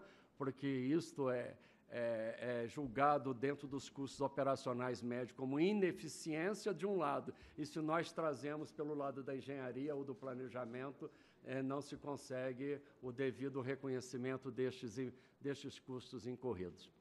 E, por fim, senhores, é, um elemento subjacente é, aos acessantes vem a ser principalmente com os consumidores livres. As transmissoras são obrigadas a serem fiéis arrecadadoras da conta do CDE junto aos consumidores livres. E, via de regra, esses consumidores questionam os valores que têm sido realmente cada vez mais elevados. Mas as transmissoras não têm nada a ver com isso. E elas são é, chamadas pela ANEEL a fazer o pagamento de algo que é devido aos consumidores livres. Então, para repetir a palavra livre, livre a gente disso, pelo amor de Deus. Isso não compete a nós, tá certo? Isso traz um risco regulatório muito grande. Por que, que nós somos fiéis é, arrecadadores de alguém que nós não temos nenhum contrato de relacionamento? O nosso contrato é com a União, é de disponibilidade de equipamento junto à ANS. O consumidor livre, nós somos neutros perante ele. E agora que saiu da Eletrobras, os fundos gestores foram para a CCE, proposta nossa, a CCE faça a cobrança direta, livre a gente disso, tá? Tá certo? E diante disso, então, nós esperamos uma simplificação das regras, a aglutinação das várias é, é, elementos das resoluções da ANEL, a própria Alexandra mostrou de manhã, ênfase na redução de divergências entre os agentes, incentivo na reunião de nivelamento prévio com as partes. Houve dúvida, vamos trazer para a ANEEL se nós não conseguimos elementos. A judicialização deveria ser o último elemento. Né? Aprimoramento de regra de desconexão, conforme dito, já dita, né? aprimorar o mecanismo de receita devido à entrada e operação de DITs, né? compatibilizada com o rito de revisão tarifária, há um descasamento nisto. E entende que essas contribuições propiciarão o aprimoramento da atuação da ANEL, transmissores os agentes nessa prestação adequada do serviço, cada um na sua responsabilidade, agilizar a formação contratual em qualquer dos ambientes que nós tivermos disponíveis e promover o bom relacionamento. Isso é a coisa mais importante, senhores. Disrupção, sim, mas depende de que ambiente. Os vikings cortavam a cabeça dos inimigos e bebiam da bebida em cima da caveira e gritavam escol. O samurai matava seu oponente e colocava uma folha de, de crisântemo em respeito ao contendor. Nós temos 30 anos de convivência, nós não somos inimigos. Nós temos espaço para isso, né? E demais, a Abra te convida para o primeiro seminário que nós estamos fazendo, dado que agora nós saímos dos grandes elementos que nós estamos passando que era a questão da medida provisória 579, tornar um ambiente de leilão de transmissão é, atraente para é, os, o, os grandes investidores, solução com a ONS da questão do encerramento de vida útil dos ativos. Então, agora nós começamos a trabalhar o que, que vai ser o segmento de transmissão, começaram a debater o qual será o nosso futuro. E com isso nós estaremos trazendo especialistas internacionais, nacionais, acreditados. Nós vamos discutir a expansão da transmissão, novas tecnologias, critérios e impactos, a operação do sistema elétrico sob nova matriz energética, que ela é bem-vinda, mas está fazendo com que o comutador de TAP no Nordeste esteja trabalhando igual limpa-brisa, viu? De carro, está subindo e descendo. Os custos de manutenção estão aumentando violentamente devido a isso. A transmissão da energia não é perene. A Itália já passou por isso, está passando, nós não precisamos esperar mais. Vamos debater essa questão. A regulação de transmissão também, a evolução em outros países, não é? o que, que estão trazendo de novidade. É, a inovação aplicável a processos, operação e manutenção, a qualidade da prestação do serviço, as melhores práticas com referências internacionais, benchmarking por classe de tensão, e final de vida útil, o que, que se faz no mundo, o que, que pratica? Venceu vida útil, joga fora? Parece que não. Fica com equipamento operando? Sem seguro, porque não tem seguro após o encerramento da vida útil. O que, que nós precisamos debater? É esses elementos que nós queremos colocar aos senhores e gostaria de convidá-los a participar do seminário que será aqui em Brasília. Muito obrigado.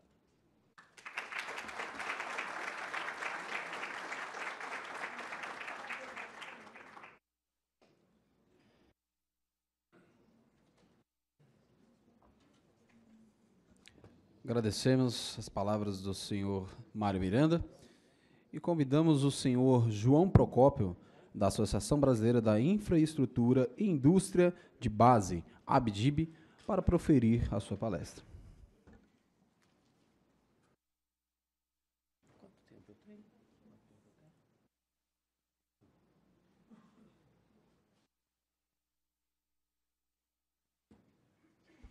Boa tarde. É, obrigado aí a SRT pelo convite, mais uma vez, né, segunda vez que eu participo desse workshop, desse tipo de workshop. A ABDIB agradece para poder cumprir dessa forma, ela está cumprindo a sua, uma de suas missões. Eu vou passar um pouco do que é a ABDIB, né?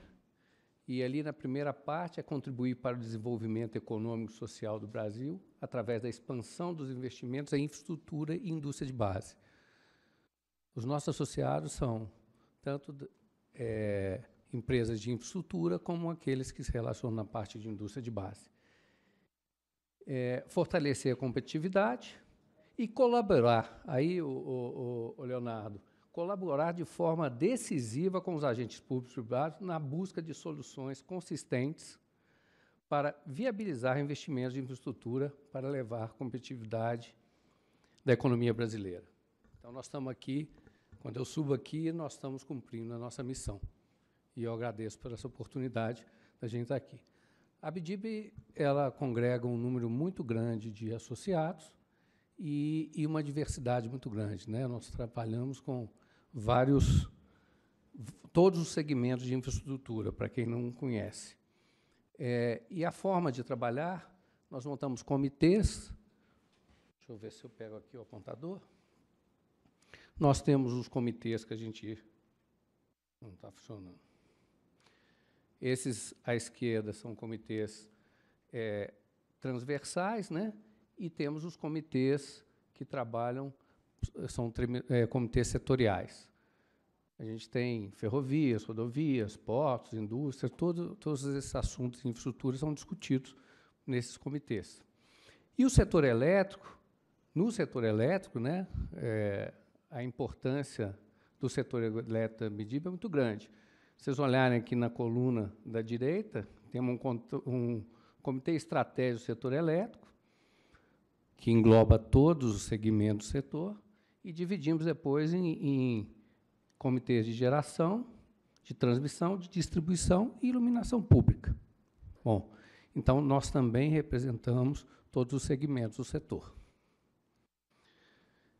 Bem, agora vamos passar aqui para o nosso tema. Né? É, aqui fica muito fácil falar depois do Mário, né, porque o Mário já passou por todos os temas importantes, a gente está sempre junto, a BRAT e o Comitê de Transmissão da BDIB sempre juntos. Aqui é só um detalhamento do que vocês já sabem de forma. Bem, aqui é, eu tentei resumir de uma forma bem, bem simples aonde que nós estamos aqui. Né? E hoje, com aquela reação da reflexão que foi colocada aqui pelo representante da Ambras, a gente vê que faz todo sentido a reflexão. Né? É, a questão da transmissão, como diz o Mário, é, tem uma história. Né?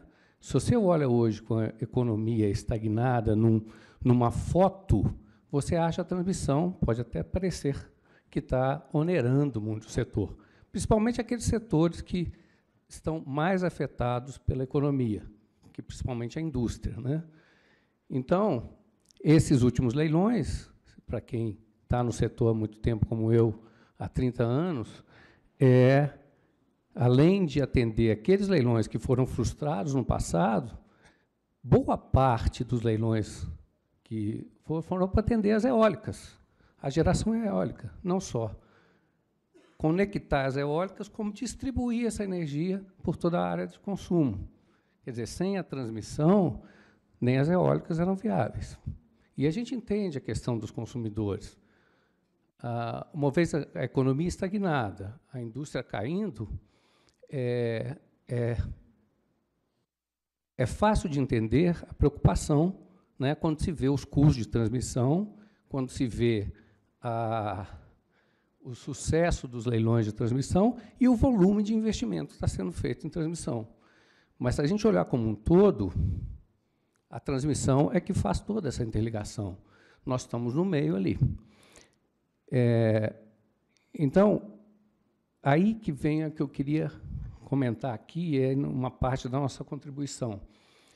O que a gente tem que olhar na hora de mexer na regulação, e nós vamos mexer aqui na parte de acesso e, e a consolidação toda que a ANEL se propõe a fazer, nós temos que olhar para o setor de forma no longo prazo.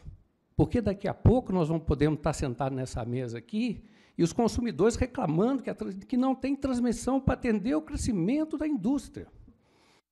Hoje eles estão reclamando. Se a gente tiver uma virada na economia, nós vamos ouvir o outro lado. Por que, que vocês não conectam? Por que, que, por que, que não, a app não previu transmissão? Então, a gente precisa, na hora de pensar na regulação, não podemos olhar para esse momento. O Mário comentou aqui a questão do final de vida útil. Bom, as tarifas hoje estão caras. Aí nós vamos estender a, o tempo de vida dos equipamentos. Porque hoje a gente quer reduzir a tarifa. Bom, lá na frente nós estamos colocando o sistema todo em risco.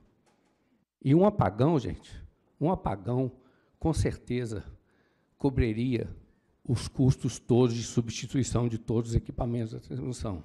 Se nós desligarmos o Estado por um defeito num transformador é estratégico, nós vamos dar um prejuízo enorme para o país. Então, a transmissão está ali naquele meio. Né? Aqui, o que eu queria dizer, pena que o apontador não está funcionando. Vou tentar aqui de novo. Bem, o que, que eu quis dizer aí com esse, esse esquema bem? A transmissão está no meio. E nós somos responsáveis pelas conexões. E uma conexão aqui mal feita, uma instalação mal gerida ou mal colocada, é, pode comprometer o sistema todo. Nós estamos interligando todos esses agentes, né, os geradores, aos distribuidores e aos consumidores.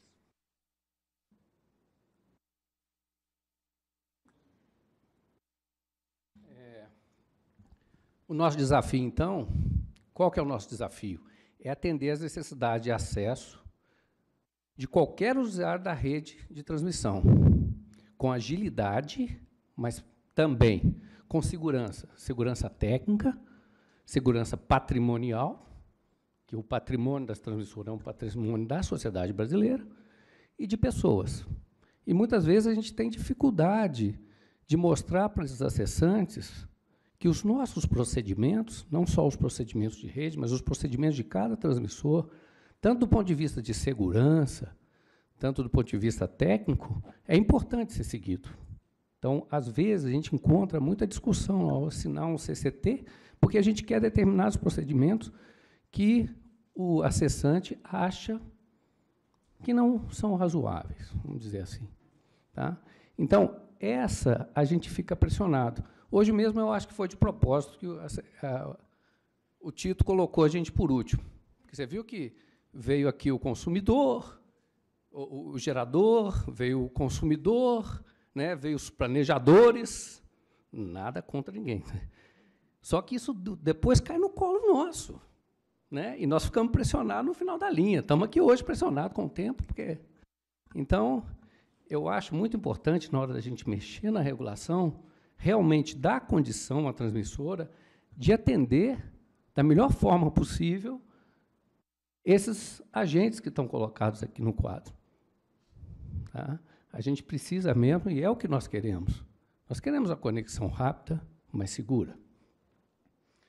Bem, aqui já foi dito, né? De forma, eu vou, eu vou fixar mais na mensagem ali em cima. Para agilizar, o início da implantação do acesso, é necessário ter claras atividades e prazos de execução de responsabilidade de cada agente. A gente precisa, ó, eu já sei que a gente tem isso de forma na regulação, de alguma forma, mas a gente precisa, esses prazos precisam estar bem estabelecidos. E aqui vai uma dificuldade das transmissoras, porque tem conexões e conexões. Algumas são mais complexas do que as outras. Algumas subestações requer mais preocupação com a segurança do que outras. Mas sem um prazo estabelecido, inclusive para os agentes, para os outros que não são transmissor, quem está pedindo acesso, NS, tudo, é muito importante que sejam claros para a gente poder seguir e realmente cobrar é, essas questões. A outra questão que eu coloco aqui, aí a gente já parte para a implantação, para evitar riscos e aumento de custo, a implantação, a implantação planejada deve ser executada conforme contratada entre os acessantes e acessados. Aqui eu quero dizer o seguinte: poxa, vamos fazer o possível para que aqueles contratos sejam feitos de forma adequada e que sejam cumpridos conforme foram colocados. Muitas vezes a gente encontra o acessante, ele pede a conexão, você é, ajusta tudo, contrata alguém para avaliar o contrato, avaliar, é, para avaliar o projeto, você contrata um, alguém para fiscalizar, outro para fazer o condicionamento, e os prazos, que aqueles que você fez no seu contrato com o terceiro, aqui tem, temos que lembrar que as transmissoras, ao fazer acesso, é um processo sazonal, não é um processo é, que justifica ter uma equipe para cuidar dos acessos. Isso não é justificado. Então, todas as vezes que a gente principalmente as transmissoras mais pequenas, elas vão fazer com mão de obra de terceiros. E ela precisa fiscalizar. Ela precisa ter alguém para fiscalizar o acesso dos, dos construtores, vamos dizer assim, né, de quem está fazendo o trabalho dentro da sua instalação. Então, a gente precisa que esses contratos sejam cumpridos. Né? Esses são os problemas do final da linha, tá, gente? Eu estou falando aqui porque tem um problema do planejamento, tem um problema de, de, de custo e tudo, mas aqui tem os nossos problemas lá do dia a dia da transmissora. Bom, o desafio de compatibilizar os prazos de implantação do acessante com os, com os de atendimento pela transmissora, dado que esses eventos são sazonais. Foi o que eu acabei de falar. Né? Muitas vezes o acessante faz isso e incorre, incorremos em custo.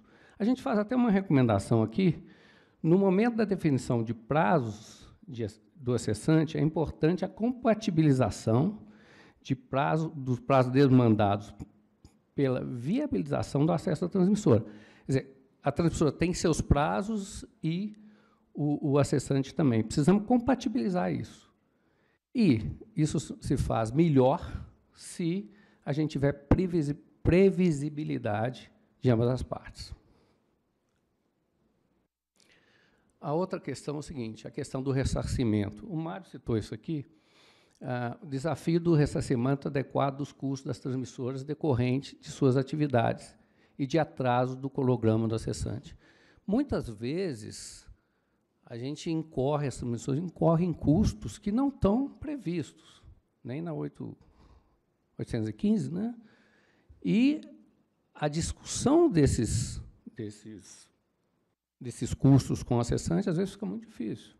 E a, e a transmissora sai com algum prejuízo. Então, a gente tem que comprovar os custos adicionais decorrentes das atividades demandadas pelo acesso e ter o recebimento, inclusive custos extras, motivados por atraso de cronogramas dos acessantes.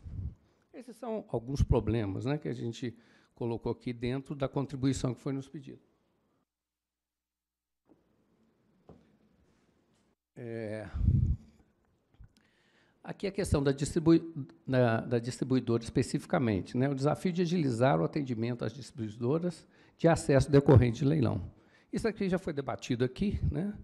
É, é, a questão de a gente estar tá prevendo, isso aí já foi até colocado, né? Assim, na CUST, antes do, do leilão já ter. Eu acho que isso aqui já já está mais ou menos encaminhado.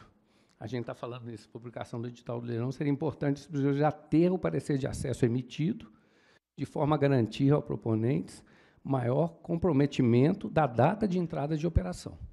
Tá? Então, é outro ponto que a gente coloca aqui como relevante. Bem, aqui outro tema também, como sou o último a falar, né, todo mundo já falou disso, é a adequação da, da regulação a esses novos sistemas, tanto a parte de geração distribuída como a, a de fontes intermitentes de transmissão, que é o que foi muito debatido aqui, a questão do harmônico, a questão. Então, como que isso vai ser tratado dentro da regulação, se é que vai. Se precisa também, eu acho que a gente até tem que ver até que ponto a gente vai na regulação. A regulação não tem que cobrir tudo, ela tem que ser é, é, é, é ir no, nos pontos essenciais. Porque senão a gente fica, como está aqui, um emaranhado de de resoluções, em 17, 11, né? 11, 17 resoluções, 17 resoluções para tratar de um assunto. Aí a gente até entende a dificuldade dos acessantes de cumprir todos aquele ritual que tem que ser feito para poder acessar. Né? E cada um vai interpretar de um jeito. Então, eu acho que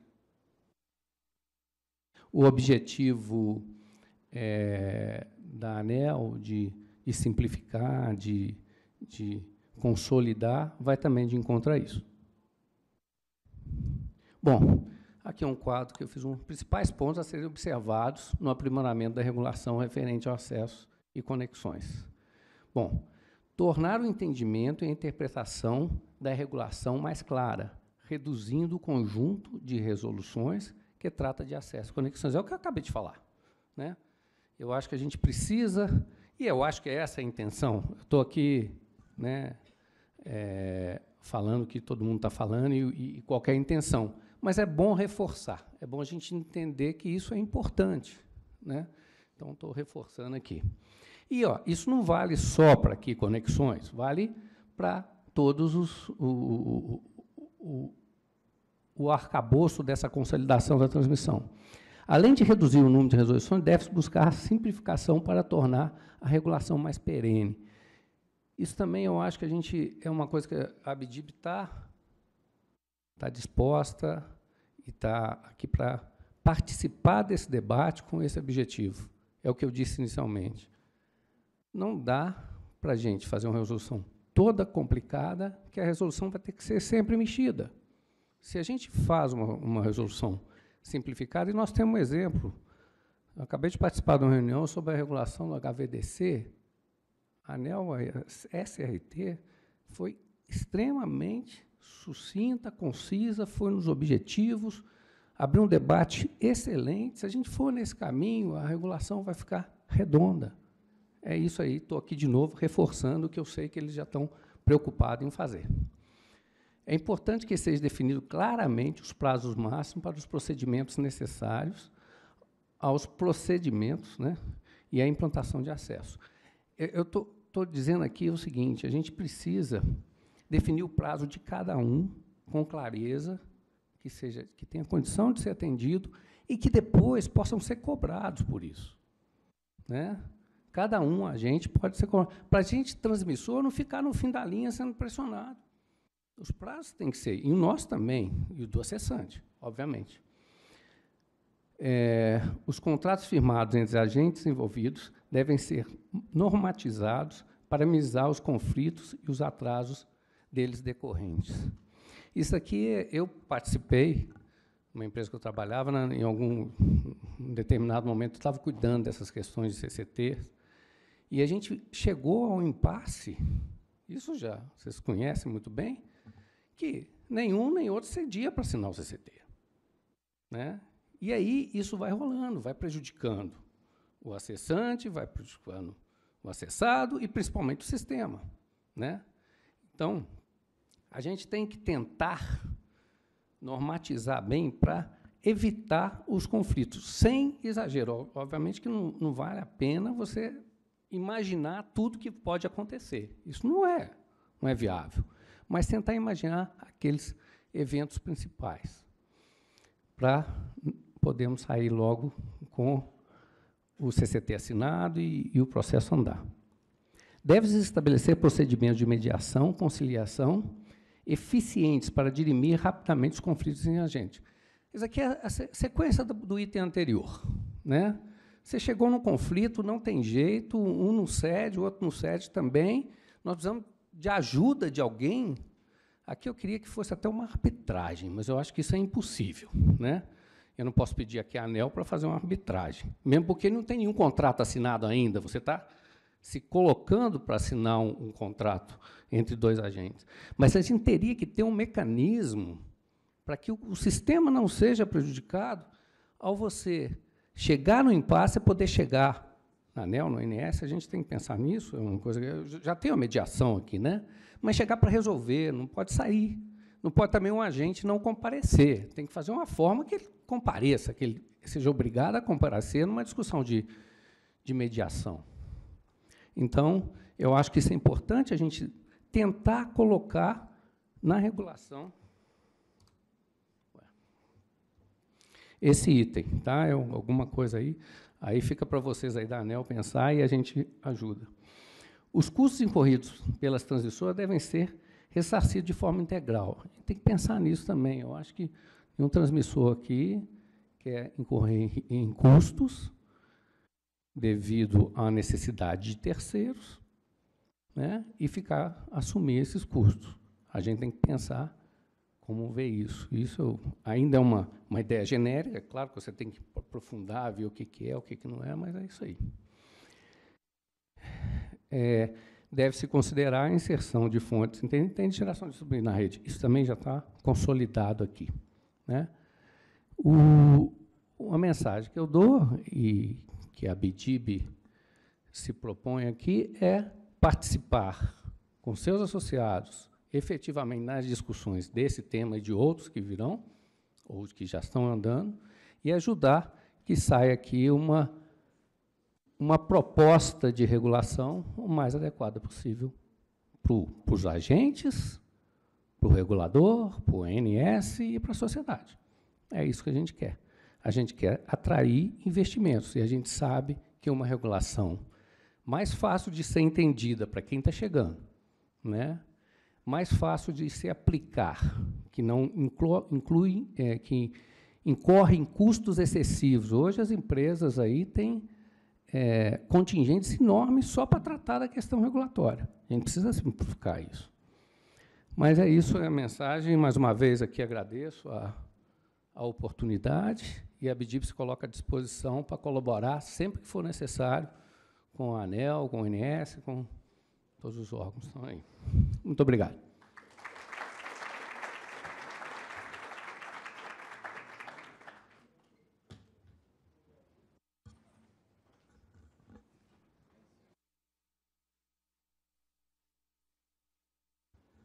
Agradecemos, então, as palavras proferidas aqui pelo senhor João Procópio. E, neste momento, eu convido, convidamos o senhor Leonardo Queiroz, o senhor João Procópio e o senhor Mário Miranda para tomarem assento à mesa.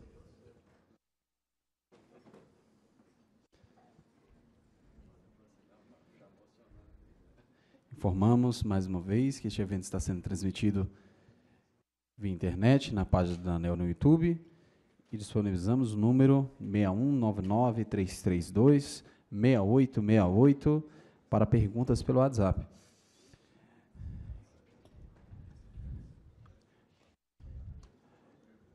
Fica aberto agora para as perguntas.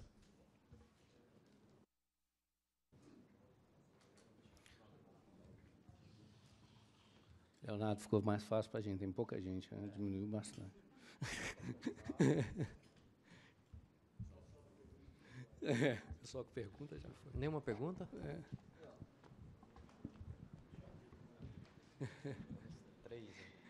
É, meu nome é Ciomara, eu trabalho na área de planejamento da Enel Brasil. E eu tenho algumas perguntas aqui que é, são angústias que nós vivemos no nosso dia a dia de acesso e conexão. A primeira delas, que eu vou falar, é a questão da mudança da localização do empreendimento de transmissão, certo? Então, o que, é que a gente vê? Alguns leilões de transmissão, eles trazem no contrato de concessão uma cláusula que estabelece que aquela localização da subestação, 230.009, pode ser, ela poderá ser alterada num raio de 6 quilômetros. Ocorre que, para um sistema de distribuição, em 69, 6 quilômetros é uma linha. Então, você imagina você sair do marco zero e ir para 6 quilômetros. Tudo que foi estudado no relatório da EP, toda aquela configuração que a distribuidora imaginou para aquele novo regional, foi por água abaixo. O mínimo custo, não sei te dizer se ele continua sendo mínimo custo. Então, eu acho que esse raio de 6 quilômetros, para um sistema de 69, ele poderia ser revisto para uma, uma, um range menor. Esse é o primeiro ponto. O segundo ponto é a questão da, das distribuidoras terem que solicitar parecer de acesso para empreendimentos de transmissão que ainda não foram licitadas. Quando você. Eu entendo que é, quem vai participar de um leilão, o empreendedor, ele precisa ter a segurança de que existe alguém interessado naquele empreendimento. Mas penso que o parecer de acesso não deveria ser o documento que dê essa segurança. Por quê? Porque o parecer de acesso tem uma série de requisitos. Quando você vai solicitar um parecer de acesso, você tem que ter informar o MUST contratado, qual é a data de contratação daquele MUST, quem é a transmissora proprietária daquele empreendimento. 90 dias você tem que fazer um CCT um custo. Como é que você vai tomar essas providências se a licitação não ocorrer e você sequer sabe quem é o proprietário dessa, quem será o proprietário dessa instalação? Então, é uma coisa assim que nos deixa assim perplexos, né? É, a outra questão que eu queria colocar, que eu acho que carece de, de uma melhoria, eu acho que as distribuidoras elas precisam ser consultadas por ocasião dos relatórios R1, R2, R3 e R4. Nós temos conhecimento desses relatórios após o resultado do leilão de transmissão. Mas seria bem mais interessante, após confeccionados os relatórios, que as distribuidoras pudessem fazer um check-out. Por quê? Para saber se atende também seu, às suas normas, ao espaço para colocar o sistema de medição de faturamento, a sua proteção. Então, eu acho que precisaria ter esse envolvimento da distribuidora que vai acessar, e não somente após a, após a emissão dos relatórios. E outra coisa que eu queria colocar é a questão uma coisa também que angustia é a questão da falta de transparência dos custos de transmissão. Você recebe uma fatura de custo, aparece lá, parcela de ajuste. O que é essa parcela de ajuste? Vocês, todo mundo aqui sabe quanto é que custa uma mensalidade de encargo de uso. A faixa de 5 milhões. Você fazer com que a tesouraria aprove um pagamento onde consta lá parcela de ajuste, que, que é isso? Eu não sei dizer. Então, eu acho que tem que dar mais transferências ao, ao custo da transmissora. RBNI, RBC, essa sopa de letrinha, eu não encontro. É uma definição que dá um parágrafo, gente. Então, acho que tem que ter mais transparência nesses custos da transmissora. Outra coisa é que, esse, é, veja só, nós tínhamos um problema no passado, quando nós tínhamos transmissoras estatais, que era o problema do atraso nas obras de transmissão. Aconteceram os novos processos licitatórios e vieram as transmissoras privadas. Agora, as transmissoras privadas, em geral, querem antecipar a data da entrada do empreendimento. Compreensível, antecipação de receita. Mas o que acontece é o seguinte: isso nem sempre é, é como é que eu vou dizer, viável para a distribuidora, porque a distribuidora não consegue fazer uma linha em um ano, dois anos, não consegue. Tem os mesmos problemas da transmissão, tem a questão do licenciamento ambiental, do embargo. E o que, é que acontece? É, você também não pode antecipar um empreendimento só porque se quer antecipar uma receita. Você tem que ver se aquela antecipação traz o benefício técnico que a obra precisa trazer. Então, eu acho que isso daí tem que, tem que, tem que eh, se chegar a um, um consenso. Porque se a transmissora quiser é, antecipar a sua receita, a distribuidora também vai querer antecipar dela por aquele investimento na linha, para, para que se tenha um equilíbrio aí, né? Outra coisa é que a gente vê muito contrato de, de, de, de CCT agora sendo negociado com algumas taxas extras. Aí a transmissora bota taxa de, de limpeza, taxa de vigilância. Nós sabemos que a distribuidora é remunerada pelo encargo de conexão. Então, eu entendo que todos esses custos que a transmissora tem, que eu não nego, são legítimos, tem que estar dentro da planilha dos custos de operação e manutenção e colocar isso dentro do encargo de conexão, porque senão você vai estar apenando a distribuidoras. Nós vamos ter o um encargo de conexão e mais uma taxa de limpeza, uma taxa de segurança, eu sei lá mais o quê. Então, acho que isso daí precisa ser é, melhor disciplinado. Então, são essas as questões que nos angustiam. É, eu acho bom, é, de novo, né, você faz essas perguntas todas faz o seminário, o workshop valer a pena, né? porque essas angústias da distribuidora são muito importantes. É, eu vou ficar aqui na, na, primeira pergunta, que é uma coisa que eu trabalhei mais prontamente, é o seguinte. Bom, eu entendo a, a, é a pergunta relacionada ao raio que a transmissora tem para deslocar a subestação é, é, depois do leilão. Eu entendo o anseio da distribuidora, realmente, uma linha, é, construir uma linha dependendo do deslocamento é, é, não é fácil. Né? Já trabalhei em distribuidora, eu sei como é que é.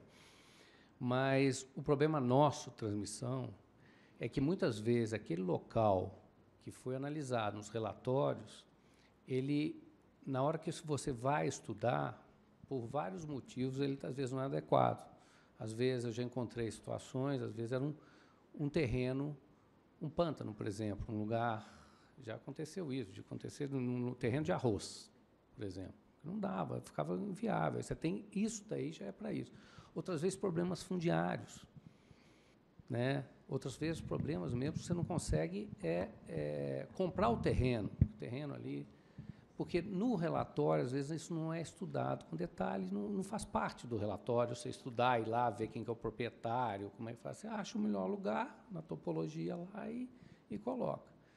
Então, é, o, o, o, edital leilão tem essa preocupação de fazer o, o raio justamente para dar flexibilidade para a transmissora conseguir um terreno mais adequado, ou do ponto de vista geológico, né, ou do ponto de vista topológico. E muitas vezes, às vezes, a gente desloca a subestação e facilita. Pra, pra, tem um problema quando você distancia.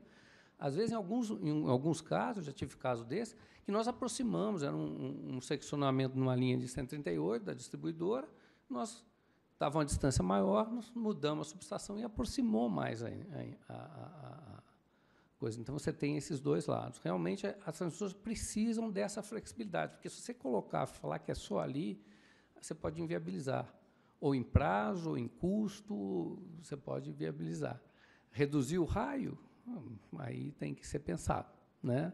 Mas a gente vai brigar sempre pelo raio maior. Quanto maior, melhor. Né? Mas é, eu entendo. Né? E aí é o que você falou. Eu acho que aqui remete naquela é, questão que você sugeriu, que eu acho sensacional. Vamos lá, se tem uma linha de distribuição que vai seccionada naquele lote especificamente, talvez devesse fazer isso mesmo. Deixa eu ir lá conversar com a distribuidora sobre aonde eu vou locar essa subestação. Né? Eu acho que isso daí já é uma condição do edital, né, que deu o pessoal aí do Ministério, né, poderia realmente exigir que houvesse um, sei lá, um parecer, alguma coisa do distribuidor. Não sei se isso é viável, mas eu acho que vale a sugestão aqui dela. Né? As outras perguntas eu deixo para os especialistas aqui, porque eu só sei assim mesmo.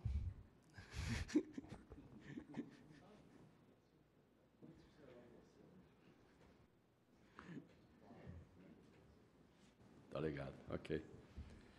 O colega da Enel, são tantos temas na sua angústia, acho que nós vamos juntos para o psicólogo. É muita, cada dia só agonia, né? Imagina. Vamos por parte. É, a questão do raio de 6 quilômetros é exatamente o tamanho de um alimentador padrão. Antes do 69, é o tamanho do 13,8.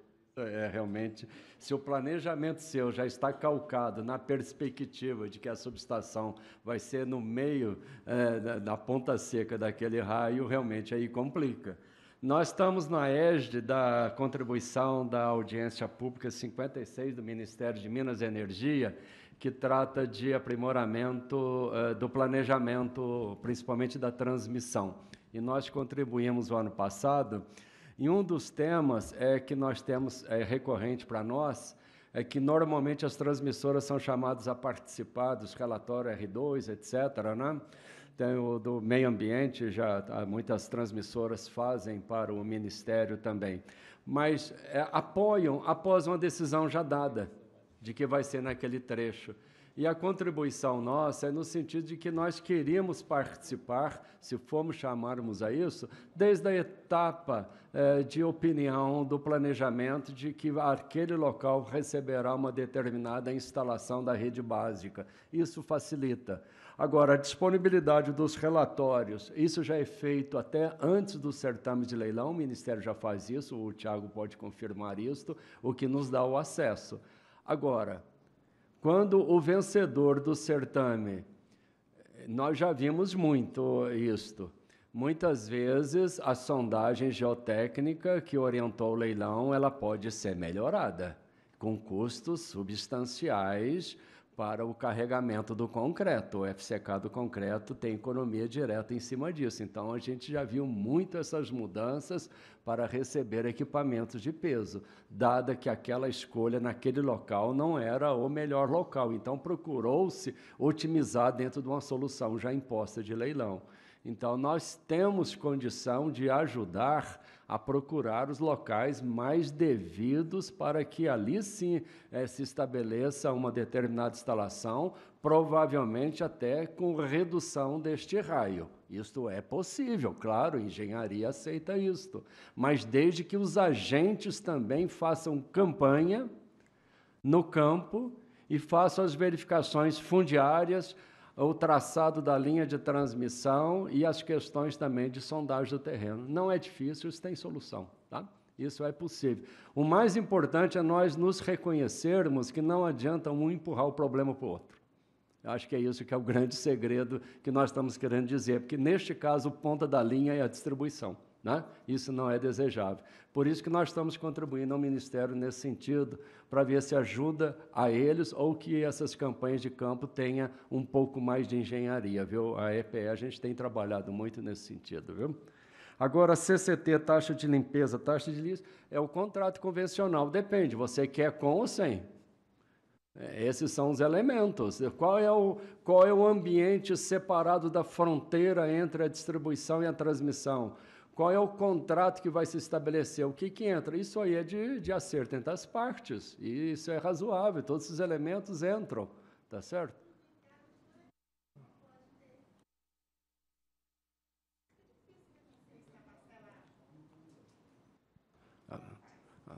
Nós queremos saber se isso aí for regulamentado, não há problema nenhum, desde que isso seja aceito. Não posso estender isso para todos. Pode isso? Pode isso? Alô? Pode, Olha, pode. é Ricardo, Ô, Ricardo, eu Salgado. trabalho na, no SPE da, da XES, é, da, na LTN. É, o os contratos de conexão que tem taxa de conservação, ele só tem a taxa de conservação se a entrada de linha for construída pela distribuidora. Se a entrada de linha ela é construída pela transmissora, você paga única e exclusivamente o encargo de conexão. Então, é uma opção da distribuidora é livre fazer uma conexão diferente. Ela fazer, ela implantando a conexão. Então, essa é a opção da distribuidora. Tá certo? E aí você não tem encargo de conexão. Porque a- o ponto de conexão, o módulo de conexão, é da distribuidora. Então, não há essa hipótese que você está falando, de mistura das duas coisas, de você ter o encargo de conexão e ter a taxa de conservação. Isso não existe. Só para complementar a linha de raciocínio, Carlos Augusto aqui da XES, é que a distribuidora passou a ter ativos dentro de uma instalação de transmissão. Aí tem aquela parte condominial associada. Né? A lógica macro seria essa. A partir do momento que a transmissora executou o BEI, então não teria nenhum ativo de distribuição dentro das instalações de T. É, é uma pergunta ou é complemento da? Uma pergunta, né? É, é, tem outra pergunta ali, né? Eu acho que essa questão é, ela é importante, o pessoal colocou, que eu queria só acrescentar que a distribuidora, o acessante, ou até outra transmissora não é obrigada de forma alguma a fazer esse tipo de pagamento. Isso é acordado lá no condomínio da, das instalações. Mas a gente pode esclarecer depois com mais, com mais calma, podemos conversar, só porque eu queria priorizar as perguntas que pudessem contribuir com para avanço. É, foram mais dúvidas de regulamento, né? Estou entendendo. Então, a gente, a questão da parcela da PA existe no, no cálculo tarifário da ANEL é colocado lá toda a, constituição da PA, mas de fato a gente pode discutir com o INES se lá na apuração na MSE é possível discriminar melhor a PA. Não sei se vocês querem fazer algum comentário. É, mas é- mas é, é possível solicitar, sem dúvida alguma, é direito de quem está pagando solicitar o esclarecimento da cobrança. Isso é fato, né? isso tem que ser feito. É só talvez uma questão de praticidade de não fazer uma, um instrumento de cobrança tão detalhado, tão técnico, que também complicaria. Tá? É, a antecipação da receita nem sempre é viável para a distribuidora. Concordo aí nesse caso, então a antecipação não é válida, até porque se não tiver o uso a antecipação, ela não é válida. A antecipação não pode ser, é uma expectativa, porém tem que ser acordada com a distribuidora. É, va- vamos passar para as outras perguntas. O, o Tiago quer fazer uma complementação ou uma pergunta? Pode, pode fazer então.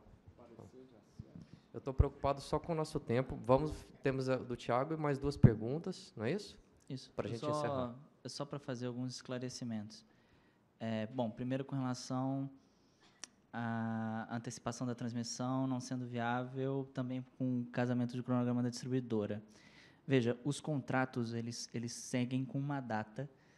A data que é colocada para antecipação, assim, a data limite que uma, uma transmissora pode colocar como antecipação é a data do relatório de planejamento. Relatório o qual a distribuidora participa. É, veja, aí quando você comenta assim, ah, eu só tomo conhecimento dos relatórios após o leilão. Eu realmente, eu, eu- eu no Ministério, eu me questiono profundamente, é porque isso acho que é uma coisa que a gente precisa desmistificar ou resolver de uma vez. Porque as, as, as concessionárias, eu abro, eu fui coordenador por muitos anos de transmissão. Eu abro relatório por relatório para ver se tem o nome da companhia lá. Se não tiver, a primeira coisa que eu faço, eu encaminho para a distribuidora para pedir opinião. Ao longo de, acho que uns 10 anos, eu acho que eu só vi duas responderem até hoje. É, com comentários, assim, para realmente alterar uma solução de, de planejamento. Então, alegar desconhecimento, eu, eu realmente eu, eu tenho dificuldade de entender isso, sabe? Como é que você só conhece um relatório que a companhia participou depois do leilão e que a data de antecipação é aquela que está lá indicada com estudos de planejamento? Então, esse é um, é um aspecto que eu acho que a gente precisa trabalhar melhor. Acho que a gente lá no Ministério queria entender como é que é esse ponto de vista de vocês. Né? O envolvimento da distribuidora, então, está dentro do relatório R1. Então, esse é um ponto que a gente também sempre, a SRD coloca para a gente na mesa, e a gente sempre fica ali um pouco em conflito em entender é, como que participa, mas, ao mesmo tempo, não se sente representada naquele estudo. Entende? Mas aqueles são relatórios de detalhamento de alternativa, veja. Aí é uma questão de alocação de risco. na audiência pública também, né? É, veja, se a gente fixa um lugar de uma subestação, às vezes a solução de transmissão ou sai muito cara ou é inviável para travar o risco da distribuidora. Quer dizer, é um conjugado. Né? A pior obra talvez seja aquela que você não tenha. Né? Então, a, a questão de flexibilizar o terreno é justamente é isso. Você precisa colocar em algum terreno que seja viável. É, e, assim, na maioria das vezes que a gente travou o terreno, não fomos bem sucedidos né, na execução desses contratos de transmissão. Mas, enfim, eu, eu me coloco em, à, à, disposição, caso a senhora queira discutir esse assunto, a própria Brad queira é, levar isso conosco. A gente tem muito interesse nesse assunto, isso sempre aparece de forma reiterada e nos incomoda muito. É, é sempre essa alegação do, da não participação dos estudos, sendo que os estudos saem com nomes, inclusive, da, da, dos empregados da companhia lá participando. A impressão que a gente tem é que são os técnicos vão, participam, mas quando chega no processo de tomada de decisão, na questão empresarial, aí a, a, a companhia tem uma outra visão que é diferente da questão técnica. E acho que é isso que tem, que tem gerado que acho que a gente precisa resolver. Boa tarde. Ah, sobre o parecer de acesso, desculpa. É, na verdade, inclusive a portaria que saiu semana passada, ela não está colocando o parecer de acesso como condição, não. É a assinatura do contrato, é a contratação do ponto para que a instalação seja licitada.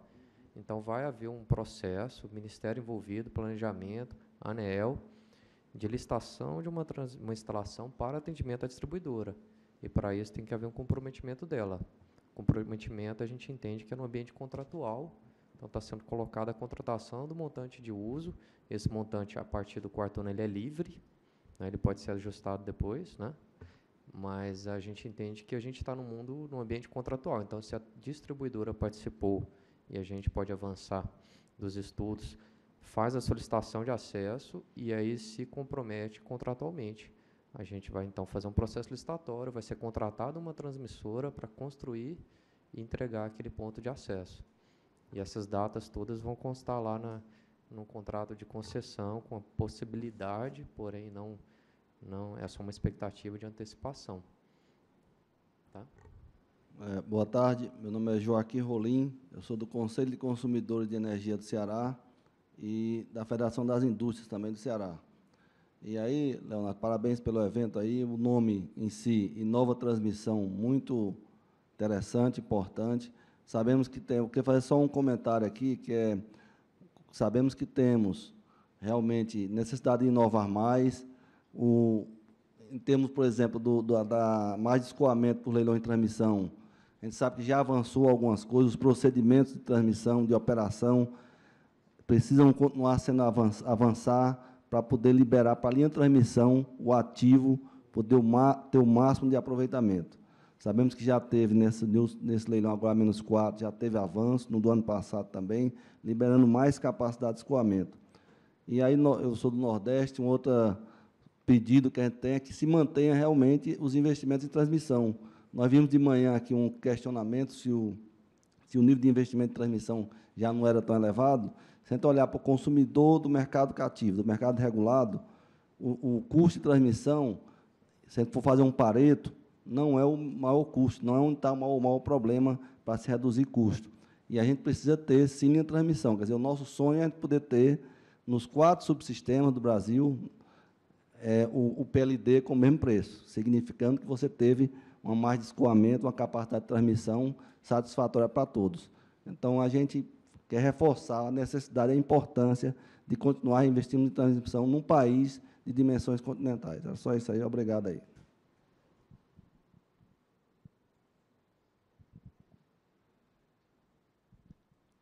Boa tarde, meu nome é Débora Light.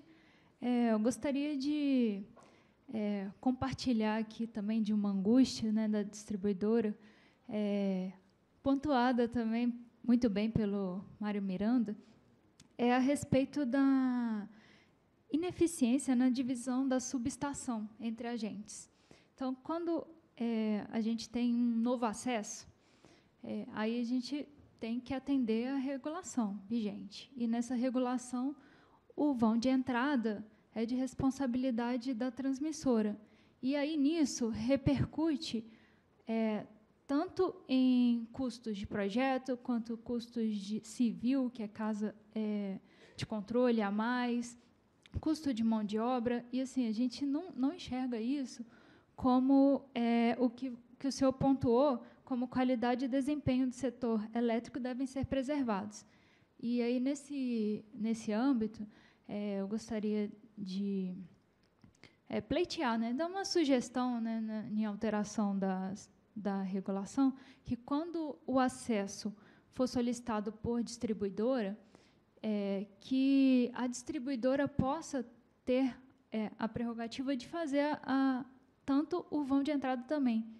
É, a gente, no caso da Light, tem diversas subestações que estão conectadas em DIT, e, e elas são operadas é, e é de propriedade total da distribuidora.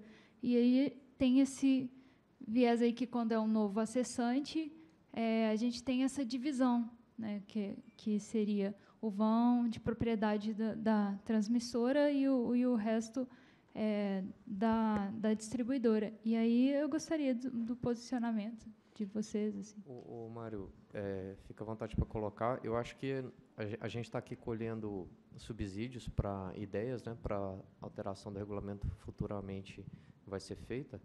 E eu acho que a gente pode caminhar numa linha mais flexível, dando opções.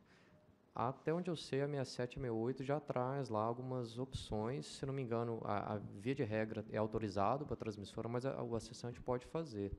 Tá? Não é isso? Estou olhando ali.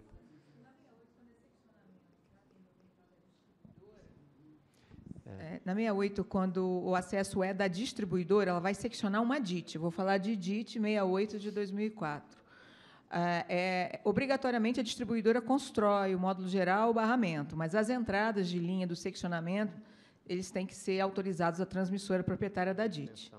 Tá? No caso, aí no caso de ser acesso de agente gerador ou consumidor livre construindo essa instalação, ele constrói tudo, inclusive os bays, mas transfere para a transmissora acessada os bays do seccionamento e é, o, a, o barramento, o módulo geral e tudo mais para a distribuidora da região do acesso em que a DIT está instalada. Hoje, na 68, está regulado. Com relação ao módulo de conexão de linha, quando é acesso de barramento DIT sem ser de fronteira, DIT DIT 69, 138 kV, obrigatoriamente a distribuidora constrói. Isso está especificado na 68. Quando é barramento de fronteira, classificado como DIT, é opcional, é facultado a distribuidora construir, mas a prerrogativa é da transmissora. Tá? Isso já está bem estabelecido forma, na Resolução Normativa 68 de 2004. De forma brilhante, a Caroline, com o regulamento na cabeça, na sequência. O Rafael quer fazer uma colocação. Mas, de qualquer forma, é válida qualquer sugestão de flexibilização do regulamento, dando opções para a gente. É, é só uma complementação ao que a Carolina colocou, muito bem colocado. Acho que talvez a colega esteja se referindo a entradas de linha que são incluídas nas licitações. Por exemplo, uma subestação 23069, que aí no leilão é incluído as entradas de linha. Pode ser esses casos. Esses casos, é, pelo que sei, eles são feitos dessa forma justamente para tentar mitigar a, a, as diferenças das datas de entrada e operação entre transmissora e distribuidora. Então, é, é nessa tentativa. Mas é algo que pode ser aprimorado. Né?